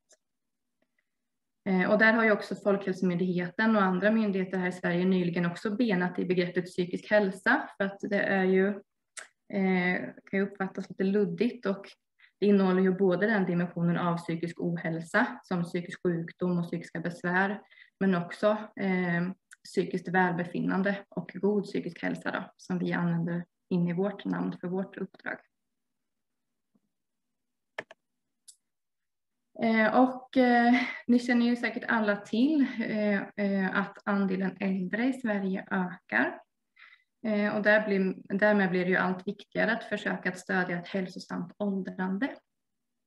Och när vi pratar om äldre, alltså just personer över 65 år, så är det ju ett väldigt brett åldersspann. Vi tänker att många kan ju till och med nå åldern av 100 år idag. Eh, och då är det viktigt att ha med sig i bakhuvudet att det är en mycket heterogen grupp, att eh, man befinner sig i olika åldrar, man har olika behov och olika intressen. Eh, och hälsan ser såklart också olika ut. Vissa har fullgod hälsa högt upp i åldern och är utan kroniska sjukdomar medan andra drabbas av sjukdom och olycka och kanske behöver ganska omfattande vård och omsorgsbehov. Eh, men forskningen visar i alla fall att äldre blir allt friskare, att dagens pensionärer kan se fram emot fler friska levnadsår än tidigare generationer. Och där vill vi försöka stödja, stödja den utvecklingen ytterligare eh, med det här initiativet nu då. Eh, och när man tittar på forskningen kring då vad som stärker ett hälsosamt åldrande så eh, har eh, forskningen lyft fram vissa hörnpelare. Och det, man pekar då på dels att social gemenskap och socialt stöd är väldigt viktigt. Att känna meningsfullhet i livet. Eh, att, ha, att vara fysiskt aktiv och att ha goda matvanor. Eh, sen så har ju också ämnet existentiell hälsa eh, lyfts fram allt mer eh, på senare tid. Eh, och det har man också sett att det blir allt viktigare när livet går mot sitt slut. Existentiella hälsan handlar ju mycket om förmågan att eh, ta tillvara på livet och känna meningsfullhet. Eh, så alla de här bitarna är sånt som vi tänker är viktigt att lyfta in i vårt arbete här med ABC för god psykisk hälsa, just när det gäller målgruppen äldre. Vad är då ABC för god psykisk hälsa? Eh, jo, det är ett initiativ som, som är inspirerat av en forskningsbaserad metod från Australien eh, där den kallas för Act Belong Commit som vi då har valt att översätta till gör något aktivt, gör något tillsammans och gör något meningsfullt. Eh, och det här konceptet används både i Australien men också i flera andra nordiska länder. Eh, och i Australien just så, så jobbar man med det här mycket i form av en stor hälsokampanj som man då genomför tillsammans med civilsamhället. Men så har vi inte riktigt tänkt att jobba här i Östergötland. Eh, utan här kommer vi eh, också fokusera på, precis som i Stockholms eh, läns landsting, att, att samverka med kommunerna och att samverka med civilsamhället kring psykisk hälsa då, i det här fallet. Och sen så kommer vi försöka synliggöra aktiviteter och stöd som civilsamhället erbjuder så att fler kan hitta dit. Och sen på sikt då när vi har både samverkan och informationen på plats så är tanken att vi ska informera befolkningen om hur de kan stärka sin psykiska hälsa och i första hand då äldre. Och vi kommer som sagt ha fullt fokus på det hälsofrämjande i all vår kommunikation och i vår samverkan. Eh, man kan se det här initiativet som att det till stor del handlar om att ge hjälp till självhjälp så att allt fler ska kunna hitta motivation och verktyg för att kunna paddla och röra sig mot god psykisk hälsa. Eh, och här i Östergötland så har vi också ett till initiativ som heter Mindshift Östergötland som kan beskrivas som en slags rörelse eh, som också sker i samverkan mellan ideell, privat och offentlig sektor som också försöker att, att eh, rikta ljus mot att främja psykisk hälsa just. Så här finns det flera initiativ som förhoppningsvis kan förstärka varandra här i vårt land. Och jag ska ge en kort inblick i de här budskapen då som vi eh, kommer basera arbetet på. Eh, och det första handlar ju om att göra något aktivt. Och det innebär både att vara fysiskt, socialt, mentalt och andligt aktiv. Eh, och fysiskt och socialt aktiv, det är inte så svårt att föreställa sig vad det kan innebära. Eh, men där kommer vi uppmuntra att det inte behöver handla om så stora saker utan det kan räcka med att man dansar loss till sin favoritlåt hemma i vardagsrummet eller att man stannar upp och småpratar lite med en granne på gatan eller med någon i, i när, ens affär. Eh, men när det kommer till mental aktivitet så handlar det om sånt som kräver att man koncentrerar sig som exempelvis att läsa en bok eller lösa korsord eller spela spel tillsammans med andra. Eh, och när det kommer till att vara andligt aktiv så handlar det mer om den existentiella hälsan. Eh, att ge, sig, eller ge tid för reflektion och eftertanke och känna efter hur man mår innerst inne. Och där kan ju exempelvis vara att eh, meditera eller delta i en gudstjänst eller bara prata med någon om de stora frågorna i livet. Eh, och eh, vi har såklart också sneglat på forskningen bakom det här med aktivitet. Och det visar att människor som håller sig aktiva har bättre välmående och psykisk hälsa. Man har också sett att olika former av aktivitet kan lindra psykiska problem som ångest och depression och göra att vi får lättare att hantera vardagliga utmaningar. Eh, och så, så, finns det också studier som visar att äldre med en aktiv livsstil de får, får såklart fler sociala relationer och, och, kontakter som kan ge ett skydd mot ensamhet. Det andra budskapet i ABC är att göra något tillsammans eh, och det rimmar ju väldigt med, väl med de initiativ och insatser som, som ni tidigare talat om. Eh, och det innebär kort och gott att vara tillsammans med andra och få uppleva gemenskap och samhörighet. Eh, och det kan ju vara allt ifrån att gå med i en bokcirkel eller börja en kurs eller att delta i aktiviteter i, i, i, närsamhället där man bor och vara tillsammans med grannar eller vänner. Eh, det kan vara att gå med i en förening eller att hitta en gemenskap på nätet som man är lite aktiv och engagerar sig i. Och där är det ju väldigt välkänt eh, att eh, tillhörighet och sociala relationer är väldigt väsentligt och grundläggande för att vi ska må bra psykiskt. Eh, men det finns ju också forskning som Kerstin visade som visar att, att starka sociala band också minskar risken för fysisk sjukdom och till och med för förtida död. Där finns det väldigt stark evidens. Man vet också att regelbundet engagemang i sociala aktiviteter det stärker våra personliga nätverk eh, och kan ge oss både praktiskt och emotionellt stöd eh, och också ge oss tillgång till värdefull information exempelvis kring hur man kan ta hand om sin hälsa på bästa sätt. Eh, och när vi medverkar i lokala aktiviteter och organisationer så skapas ju också social sammanhållning och det ökar tilliten.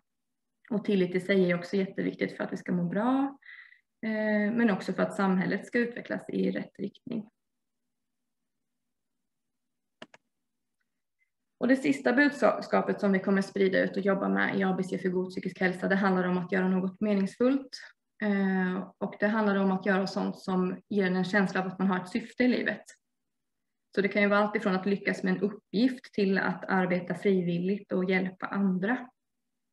Eh, och där kommer vi betona att det inte behöver vara någon stor prestation. Det kan vara att baka en tårta och bjuda på eller att reparera någonting eller att ja, prestera bra på arbetet eller bara lära sig något nytt. Eh, och forskning kring det här eh, den säger bland annat att vår självkänsla stärks när vi klarar mål och utmaningar som vi sätter upp för oss själva. Eh, det ger motivation och ger en känsla av egenvärde. Eh, personer som arbetar frivilligt eh, vittnar själva om att det verkligen ökar deras känsla av mening och syfte med livet.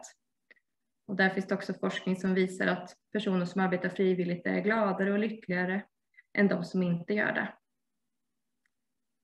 Eh, och man har också sett att volontärarbete och exempelvis kulturella aktiviteter kan motverka ensamhet och då särskilt då bland äldre.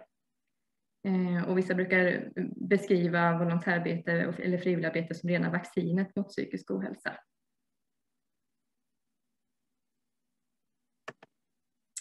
Det var lite kort om budskapen i ABC för god psykisk hälsa och här är en bild av hur vi har planerat att jobba med det här i Östergötland. Och vår eh, ambition är att försöka nå ut till äldre personer som damen på bilden där. Som kanske själv känner att jag skulle vilja ha mer aktivitet eller känna mer meningsfullhet i livet.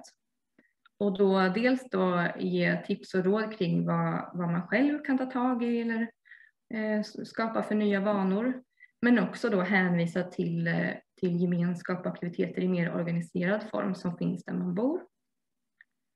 Eh, och från regionens sida då så har vi tänkt att informera om det här på 1177 Eh, men också såklart via sociala medier och i, i tryckt eh, format som exempelvis tidningen Hälsotecken som går ut till alla hushåll.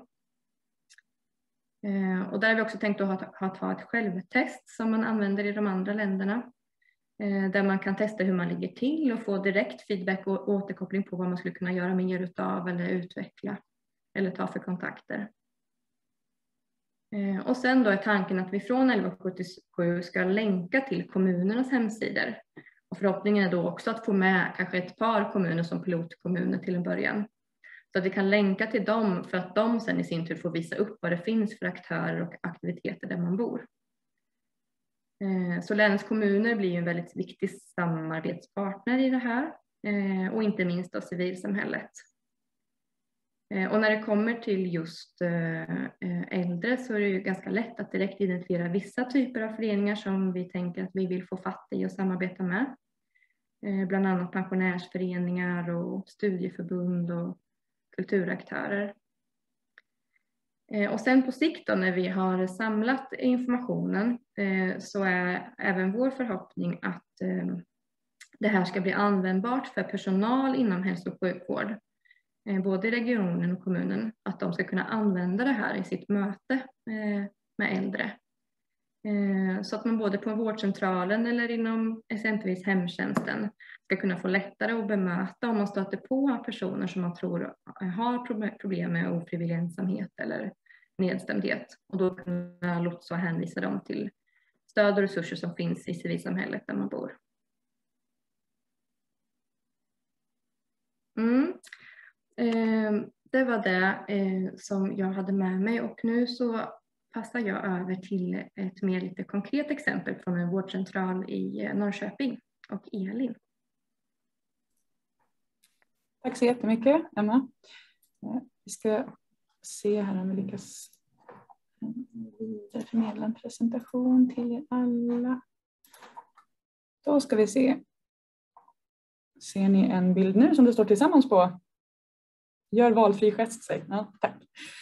Eh, jo, jag heter Elin Fernstrand. Jag jobbar som klinisk psykolog på, på ungefär 40 procent och som övrig del av min tjänst så är jag också då projektledare för projektet Tillsammans som påbörjades i rätt så liten skala eh, våren 2020 och har pågått fram tills nu. Eh, och där vi också hoppas få lite ny vind i seglen nu när coronapandemin ändå har eh, gått in i en lite mindre hysterisk fas i alla fall. Men vi har jobbat väldigt mycket kontinuerligt under tiden också med att, att eh, jobba med framförallt kartläggning av eh, liksom det närmaste området kring vår vårdcentral som alltså ligger i Norrköping. Och eh, vi har inspirerats av båda de här projekten som har avhandlats idag. Dels From Compassionate Communities eller Health Connections Mendip som Kerstin Tillander pratade om tidigare och det här är vår absolut primära förlaga till det vi försöker skapa i eh, ett format som fungerar för oss som vårdcentral här i Norrköping. Eh, och sen har vi också sneglat på Act Along Commit som Emma pratade om precis eh, och försökt att, att sammanfoga det här efter bästa förmåga utifrån de förutsättningar som vi har som kliniker. Bara för att liksom snabbt presentera det här eh, successiva stegandet som vi har insett är, är viktigt så, så, behöver vi liksom poängtera att vi kommer inte kunna ge en, en jättestor insats till alla. Men vad vi hoppas inom det här projektet är att på något sätt kunna ge något litet till, till de många som kanske å andra sidan klarar sig rätt så bra med det. Och då har vi använt, använt oss av någon slags pyramidmodell. Eh, vi fick lägga till lite mark där för att vi insåg att vi behöver en nivå till i modellen. Och där har vi just det här grundfundamentet som är att för oss som projektgrupp försöka förstå oss på hur ser eh, civilsamhället ut runt omkring oss? Vad finns det för aktörer? Vad finns det för grupper? Vad finns det för, för olika stödinsatser och aktiviteter eh, som Norrköping kan bjuda på för personer som känner liksom att jag skulle vilja ha ett annat socialt samliv än det jag har och jag skulle vilja utöka det på något sätt. När vi väl har kommit underfund med det här och vi har bara fått tag i en handfull och är smärtsamt medvetna om det så behöver vi också hitta ett bra sätt att åskådliggöra den här informationen som vi som projektgrupp har fått till oss. Och vi behöver åskådliggöra den både för våra patienter men också för övrig personal på vårdcentralen som inte är lika involverade i själva projektet. Och vi vill såklart att samtliga medborgare också ska få tillgänglighet till det här på sikt. Vår vision är att skapa någon slags informationshubb och här är jag i kontakt med olika representanter från Norrköpings kommun för att försöka se om vi kan jobba ännu närmare dem som kommun för att förstå hur vi skulle kunna skapa förutsättningar för en sån här informationsplattform tillsammans.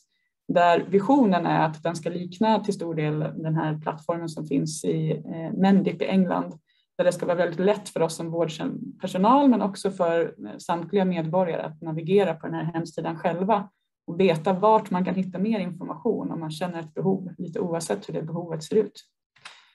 Eh, vad vi också har gjort då, oj, eh, på vår vårdcentral är att vi eh, försöker få våra kollegor att bli mer uppmärksamma på, på det här fenomenet med ofrivillig ensamhet.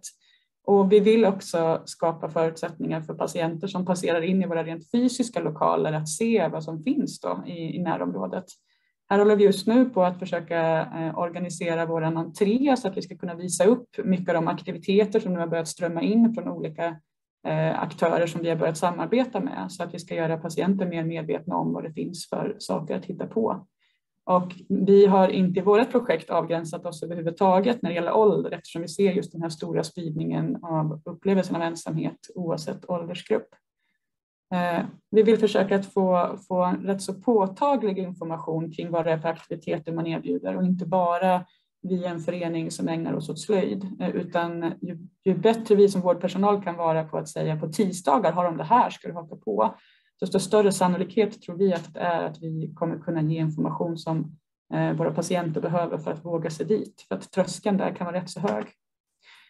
Vad jag tänker fokusera särskilt på nu, och jag spidar lite för att jag inser att vi har lite knort om tid, eh, det är den slussfunktion som vi har skapat på vår vårdcentral också och som då handlar om ett litet vårdflöde som inte existerade innan det här projektet kom igång.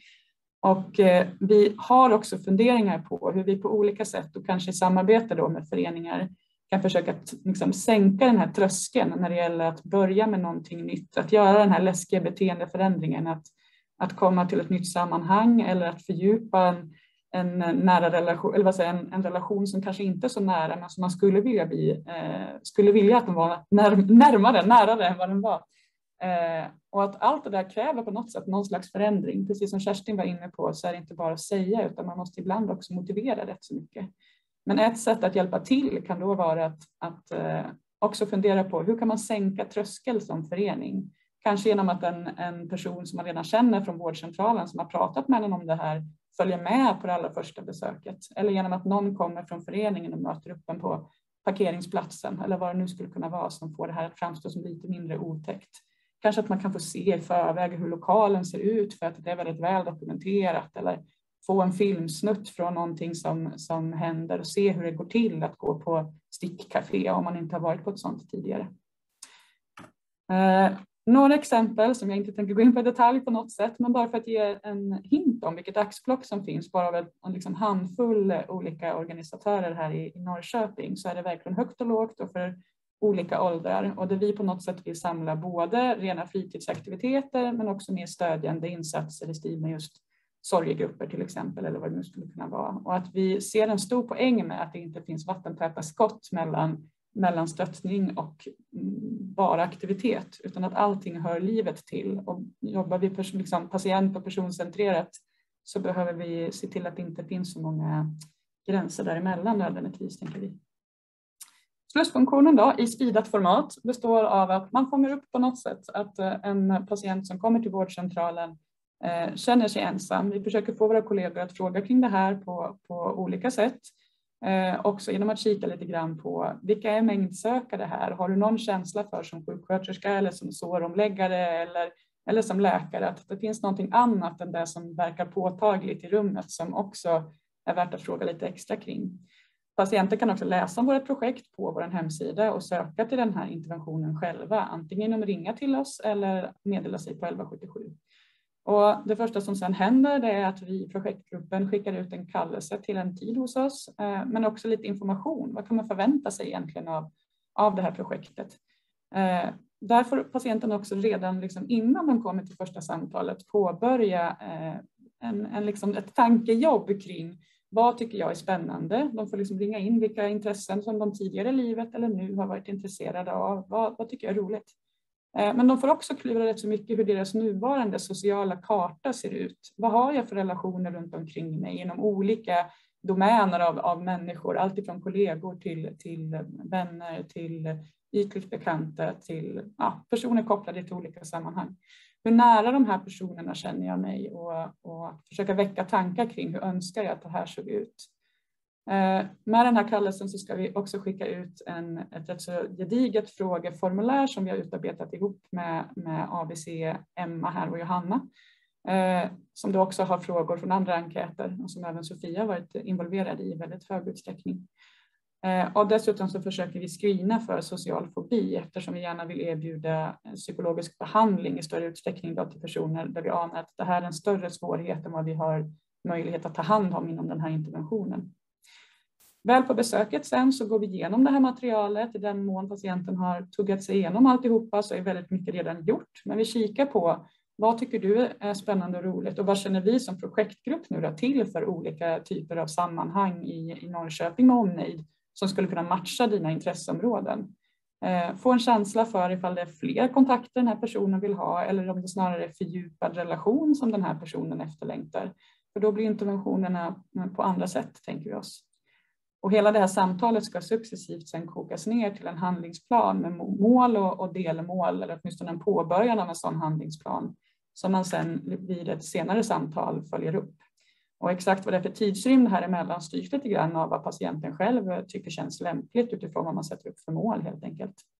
Där kollar man av hur har det gått, eh, problemlöser kring de hinder som man också redan under första samtalet kikar på. Hur kommer det sig att, att du inte har tagit dig för att göra det här som du verkar längta efter innan? Är det för att det känns läskigt och nervöst? Är det för att det är svårt att ta sig? Är det för att det är för dyrt? Vad beror det på? Eh, och där gäller det att vara väldigt eh, flexibel i sitt tänkande och ha, ha gott gehör kring vad personer sliter och kämpar med. Eh, och efter det här samtalet så kan man då boka in ytterligare en uppföljning ifall patienten uttrycker behov av det som man också kan ha per telefon där primärt. Och där gör man ytterligare en avstämning, sätter upp nya mål för hur man vill gå vidare med det här framgent. Och sen så utvärderas det med ungefär samma frågebatteri då som, som skickades med den här första, eh, det här första utskicket inför första besöket. Så jag tänker att jag kanske väljer att, att avrunda där eh, och tänker att jag är väldigt spänd på, på vidare diskussion istället. Eh, här finns också en storartad tanke om olika vårdcentraler eh, och hur jag skulle vilja att de samverkade inom samma region. Men jag tänker också att jag vill skicka med er eh, massa litteratur och olika tips som jag tänker att vi inte hinner gå igenom nu, men det finns med i min presentation som jag anar kommer läggas upp någonstans så småningom. Eh, så jag vill egentligen bara tacka för mig och också då mina två övriga projektarbetare här som inte var med idag. Sofie Johansson som är dietist och Elisabeth Söderbäck som är hälsocoach. Och det ska sägas att man alltså då inte behöver vara psykolog för att hålla i sådana här samtal, utan det är snarare en fördel att ha jobbat med motiverande samtal och känna att man är, man är nyfiken på, på, på samtalsupplåsande effekt på något sätt och att samverka. Där nöjer jag mig. Tack så jättemycket. Ja, stort tack Elin. Ja, ehm, än så länge har det inte kommit så mycket frågor i chatten, men ni får jättegärna skriva in frågor. Ehm, jag tänker att jag ändå öppnar då med någon fråga. Jag tänkte börja med att eh, fråga dig Kerstin, för jag, jag tänker, det känns ju som att det är ett ökande intresse kring den här frågan eh, ändå. Och, ja, men, och vi har ju hört här om, om lite olika exempel. Men hur många sådana här projekt kring just för att jobba med ensamhet finns det i Sverige? Har du koll på det Kerstin? Ehm, vi började en liten kartläggning faktiskt, för vi ville ta reda på det i min förening. Ehm, vi fick inte så många svar, men vi har snokat reda på lite själva. Jag vet inte exakt hur många det är, men eh, ja, mellan fem och åtta kanske. Olika ja, fem olika platser, det kan vara i kommun eller region i Sverige, som, mm. som jobbar konkret med frågan och man har kommit olika långt. Alltså I Umeå har man ju verkligen en, en intervention som man testar och, och forskar på. Eh, och i andra kommuner så håller man på att utarbeta verktyg och rutiner och, och också hur man kan samverka till exempel mellan kommun och region. Eh, nu tänker jag specifikt på Västra Götaland där man, ja, där man jobbar. Mm, så det händer, det händer en hel del i, i frågan och eh, pandemin har ju satt extra ljus på ensamhetsfrågan.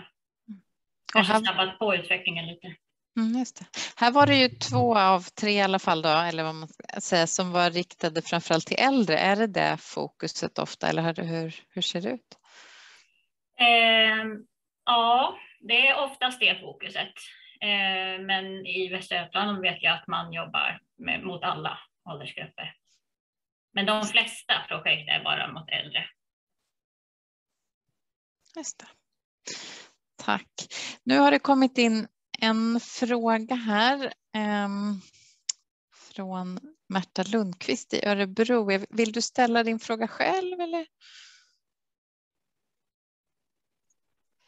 Hej, Märta heter jag som sagt. Jag, eh, jag jobbar inom hälso och sjukvården i Region Örebro och vi jobbar med en del samarbetsprojekt med civilsamhället och just nu har vi också ett när det gäller ensamhet hos äldre. Precis. Men min fråga eh, hur har ni gjort? Har ni inkluderat civilsamhället ifrån början när ni utformar era projekt eller har de kommit in på slutet? När i processen? Eh, jag kan svara från, från eh, mitt, eh, mitt håll då på den här vårdcentralen i Norrköping. Att vi, vi började att gräva där vi stod och så bjöd vi in kanske 10-12 olika studiefrämjanden och lokala organisationer och föreningar fick ett hejdundrande gensvar, vilket var jätteroligt. Att nästan alla som vi har bjudit upp till, till dans hittills har ändå velat delta på något sätt. Och sen så tänker vi oss att det där kartläggandet och spindlandet skulle man kunna jobba med väldigt, väldigt mycket. Och där har vi någonstans fått så här, lugna oss lite utifrån att vi behöver jobba personcentrerat och lägga krutet där det verkligen räknas utifrån rätt så begränsade resurser. Så nu har vi kanske övergått lite mer till att försöka att okej, okay, vad är den här patienten intresserad av? Då tar vi kontakt och undersöker vad som finns eh, liksom, av, av verksamheter som matchar det Eh, när vi sitter med den här patienten i rummet. Eftersom det bara i Norrköping finns 200 föreningar och vi skulle kunna lägga jättemycket tid på att bara upprätthålla relationerna. Eh, men det skulle vara jättespännande att här framöver när smittläget inte ser ut som det har gjort längre också bjuda in fler till liksom större träffar kring det här. För min erfarenhet är att det blir ringar på vattnet och att eh, det kommer fler och fler intressanta hela tiden, vilket är jätteskoj. Ska jag svara för Region Stockholm kanske? Eh, både ja och nej. Eh, vi har haft med eh, pensionärsorganisationsrepresentation eh, eh, eh, ända från början. Ehm, så det har varit jättebra. Sen har det varit en utmaning att, att omfamna hela civilsamhället. Det är ganska svårt eh, hur man ska, eh, hur man ska liksom få till de mötena. Ehm, och, och, där har vi då jobbat genom kommunerna egentligen som ju ger bidrag till, till föreningar eh, så indirekt då så att säga. Men, men pensionärsorganisationerna har varit representerade hela tiden i alla fall. Jag kan också svara lite angående ABC för god psykisk hälsa här i Region Östergötland. Eh, där har ju regionen en sådan överenskommelse med civilsamhället så att man träffar civilsamhället regelbundet. Eh, så där har vi liksom ämnet just psykisk hälsa eh, lyfts till viss del. Sen själva liksom den här modellen och konceptet, där kom väl mer från liksom hälso och sjukvårdsnämnden och så mer regionens initiativ kan man säga. Att kollegor på min enhet, de omvärldsbanade och tog hem det här konceptet och just den här signalen om att man vill, liksom, eller besluta att man vill jobba med att främja psykisk hälsa Eh, var på något sätt förbestämt. Eh, sen är vi ju nu inne i en ganska lång fas där vi liksom försöker att liksom matcha och anpassa och pröva hur ska vi jobba med det här då? Och, och, och i det arbetet bjuder vi in både kommunerna och civilsamhället till dialog såklart för att försöka landa i bästa modell eller genomförande sätt. Så. Ja, min erfarenhet är just det där att, att får man vara med från början så skapar, ökar det engagemanget när man får vara med och forma, har jag min upplevelse med. Mm. Just att man känner att man är en likvärdig part, mm. eh, att man inte är att inte regionen dikterar alla villkor.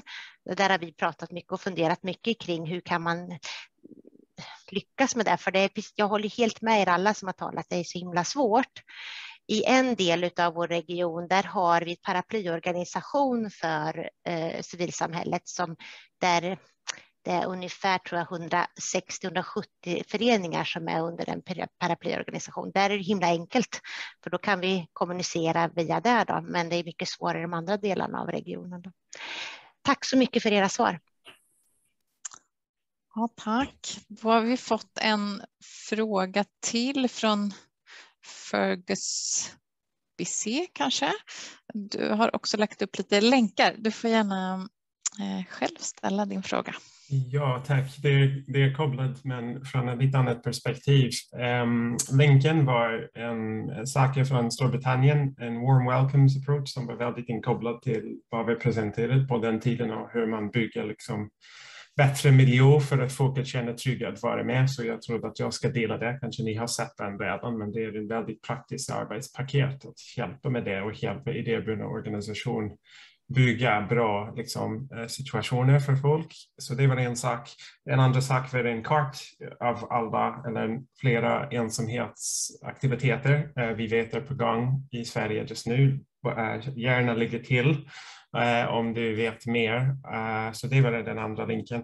Och min fråga är, ehm, för jag som jobbar i regionen, eh, mer kanske på byråkratisk nivå, liksom i folkhälsoområdet, alltså men vi vill göra någonting kring ensamhet med eh, e EU-projektet vi har på gång just nu. Vilken avdelning eller enhet i hälsovårdssystem tror ni är mest effektiv plats att bygga den bro eller bygga den relation? För, för det är en liten Eh, problem vi har här just nu att bygga den relationen. Pandemin har inte hjälpt för hälsovårdssystem vill inte ha externt partner kommer in under den tiden. Men jag funderade om vi hade erfarenhet om, ja, vi vet att ensamhet eh, eh är en problem för många riskgrupper eller med, eh, personer i, i samhället. Men i hälsovårdssystem, vad är mest effektiv plats liksom, att bygga någon samverkan? Ja, jag måste medge att jag inte själv är insatt i alla olika platser eller liksom mm. enheter som man skulle kunna bygga på. Eh, däremot så tänker jag att det är viktigt att komma ihåg det här med att ja, ensamhet kan uppstå oavsett ålder och jag tänker också ofta relativt livsövergångar på olika sätt som Kerstin pratade om. Så något som jag skulle kika på är kanske ja, men, Eh, vad finns det för rutin kring det här varje gång någon har gått bort när det gäller anhörigas position? Då? Jag har blivit enkling eller jag har blivit änka. Eh, där har vi funderat på ifall vi skulle liksom lägga till en rutin på vår vårdcentral av att ringa och liksom checka av det här lite extra. Om vart ska jag screena liksom, om det är frågan? Eh, och där tänker jag att vi också har påbörjat eh, samtal med studenthälsan till exempel. För många studenter flyttar, kommer helt nya till en ort, känner inte en människa och kommer jag då inte in i klassen och, och får nya vänner där så är det också en rätt så utsatt position som ung vuxen där vi också ser att många känner sig ensamma. Eh, så det är inte ett svar kring vårdenhet där jag tänker att andra är mycket bättre på att guida dig men att det är viktigt att tänka på vart alla övergångarna finns och vart man då vänder sig då i det, i det livsskedet i vården. Liksom.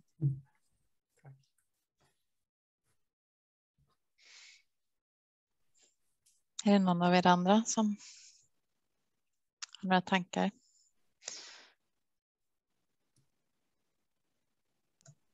Jag tyckte att Elin sa det väldigt bra faktiskt. Ehm, så jag håller med hennes svar. Mm. Jag tänkte bara att jag skulle tillägga att som de har sagt när jag har intervjuat personer som sagt både från civilsamhället och från kommunen så kom den, det in, inlägget liksom att eh, det var, det var intressant att sjukvården var med ändå. Alltså, både pensionärsföreningarna tyckte att det här är en väldigt eh, en trygghet och ett förtroende som, som finns eh, inom sjukvården där eh, äldre personer eh, kan vara mer benägna att liksom söka sig till ett projekt där sjukvården också är en del. Så, vårdcentralen. Eh, och eh, att även kommunerna menade på att när de försöker förankra ett sådant projekt till andra verksamheter inom den egna kommunen, att de, att de fick liksom gehör och att, att folk liksom lyfte lite på ögonbrynen så att ah, men det här är ett initiativ som kommer från, från regionen. Men eh, sen om det, men det var en erfarenhet vi gjorde i alla fall. Tack. Um, det kom en fråga också från Hans Lingfors kring eh, uppsökande verksamhet. Ehm, eh, ja, vi har lite ont om tid kanske, så jag ställer den kanske själv då, men den är lite lång. Men jag tänker att det handlar om, om liksom att Norr, i Norrköping så ja, har man ju som Elin berättade lite om viss uppsökande verksamhet och sen men, att, men frågan var hur gör man i Stockholm och Östergötland? Och så ser jag att Elin behöver springa också, så vi tackar dig så jättemycket Elin för att du var med. Ehm. Sofia, Margareta, jag, jag skulle kunna eh, eh, fånga den bollen, för det var min hand som jag räckte upp för den.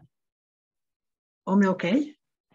Jag kopplar det till Hans Lingfors fråga där, eller? Ja, exakt. Mm. Ja, men visst, fyll på.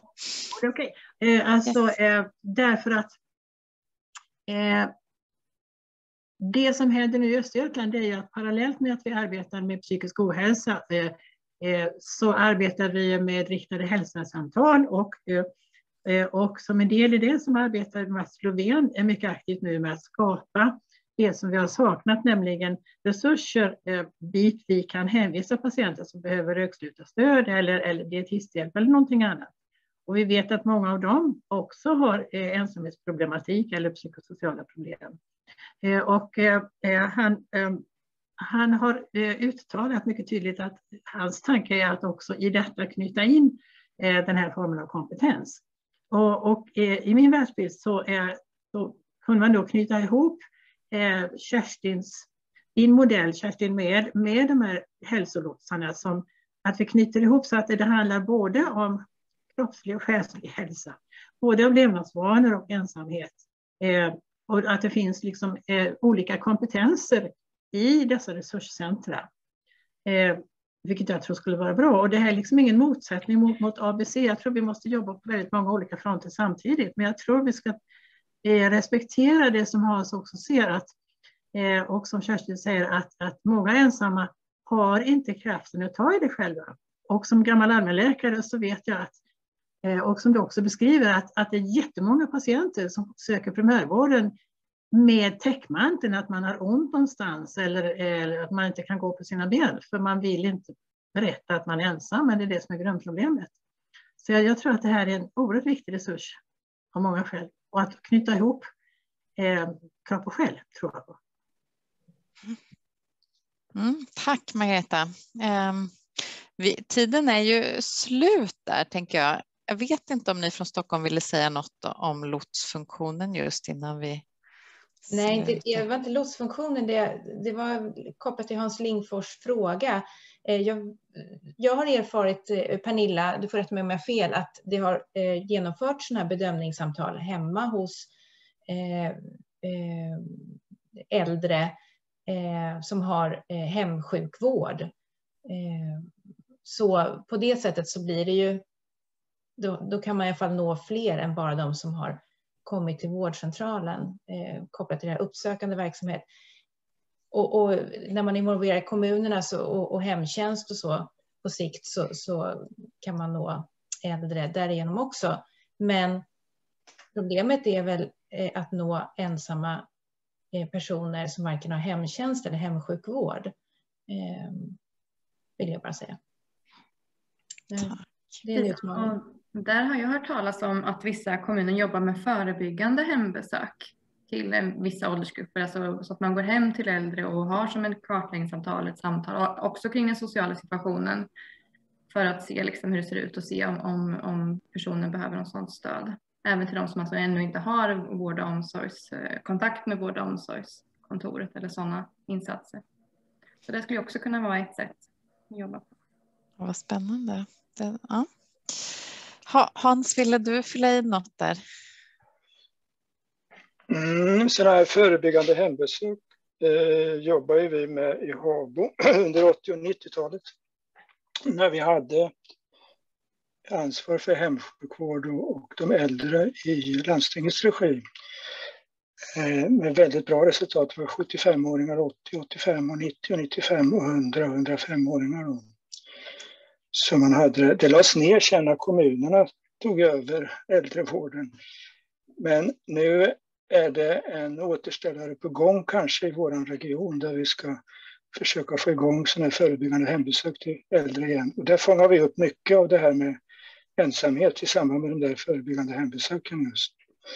Så, så det tror vi är en bra modell att, att hitta en del av de här som eh, utöver de här som vi fångar i andra sammanhang. Sen naturligtvis eh, när det gäller de yngre så har vi de här riktade hälsosamtalen som Margareta nämnde som ett bra sätt att fånga upp det här också. Och där vi nu eh, samverkar med kommunerna där man eh, inrättar hälsocenter i alla kommuner med hälsocoacher. Eh, där vi ska lot, den vägen lotsa eh, inte bara patienter med ohälsosamma matvanor och fysisk inaktivitet utan även de som, som eh, upplever ensamhet och där de blir eh, lotsar som ni har nämnt i Stockholm och övriga ställen ut i civilsamhället för att hitta aktiviteter för den här gruppen. Det är alltså jag jobbar i Region Jönköping kanske bäst att säga. Ja. Mm. Så ni vet var jag finns. Spännande. Ja, jag tror vi får runda av där. Eh, men stort tack alla för era medverkan. Jag tyckte det blev jättespännande presentationer och diskussioner. Ehm, det finns ju som sagt en del material på HFS-nätverkets hemsida eh, och där finns också information om kommande digitimmar. Ehm, vill du fylla i något Sofie från sekretariatet? Nej, då tackar vi där. Tack så mycket.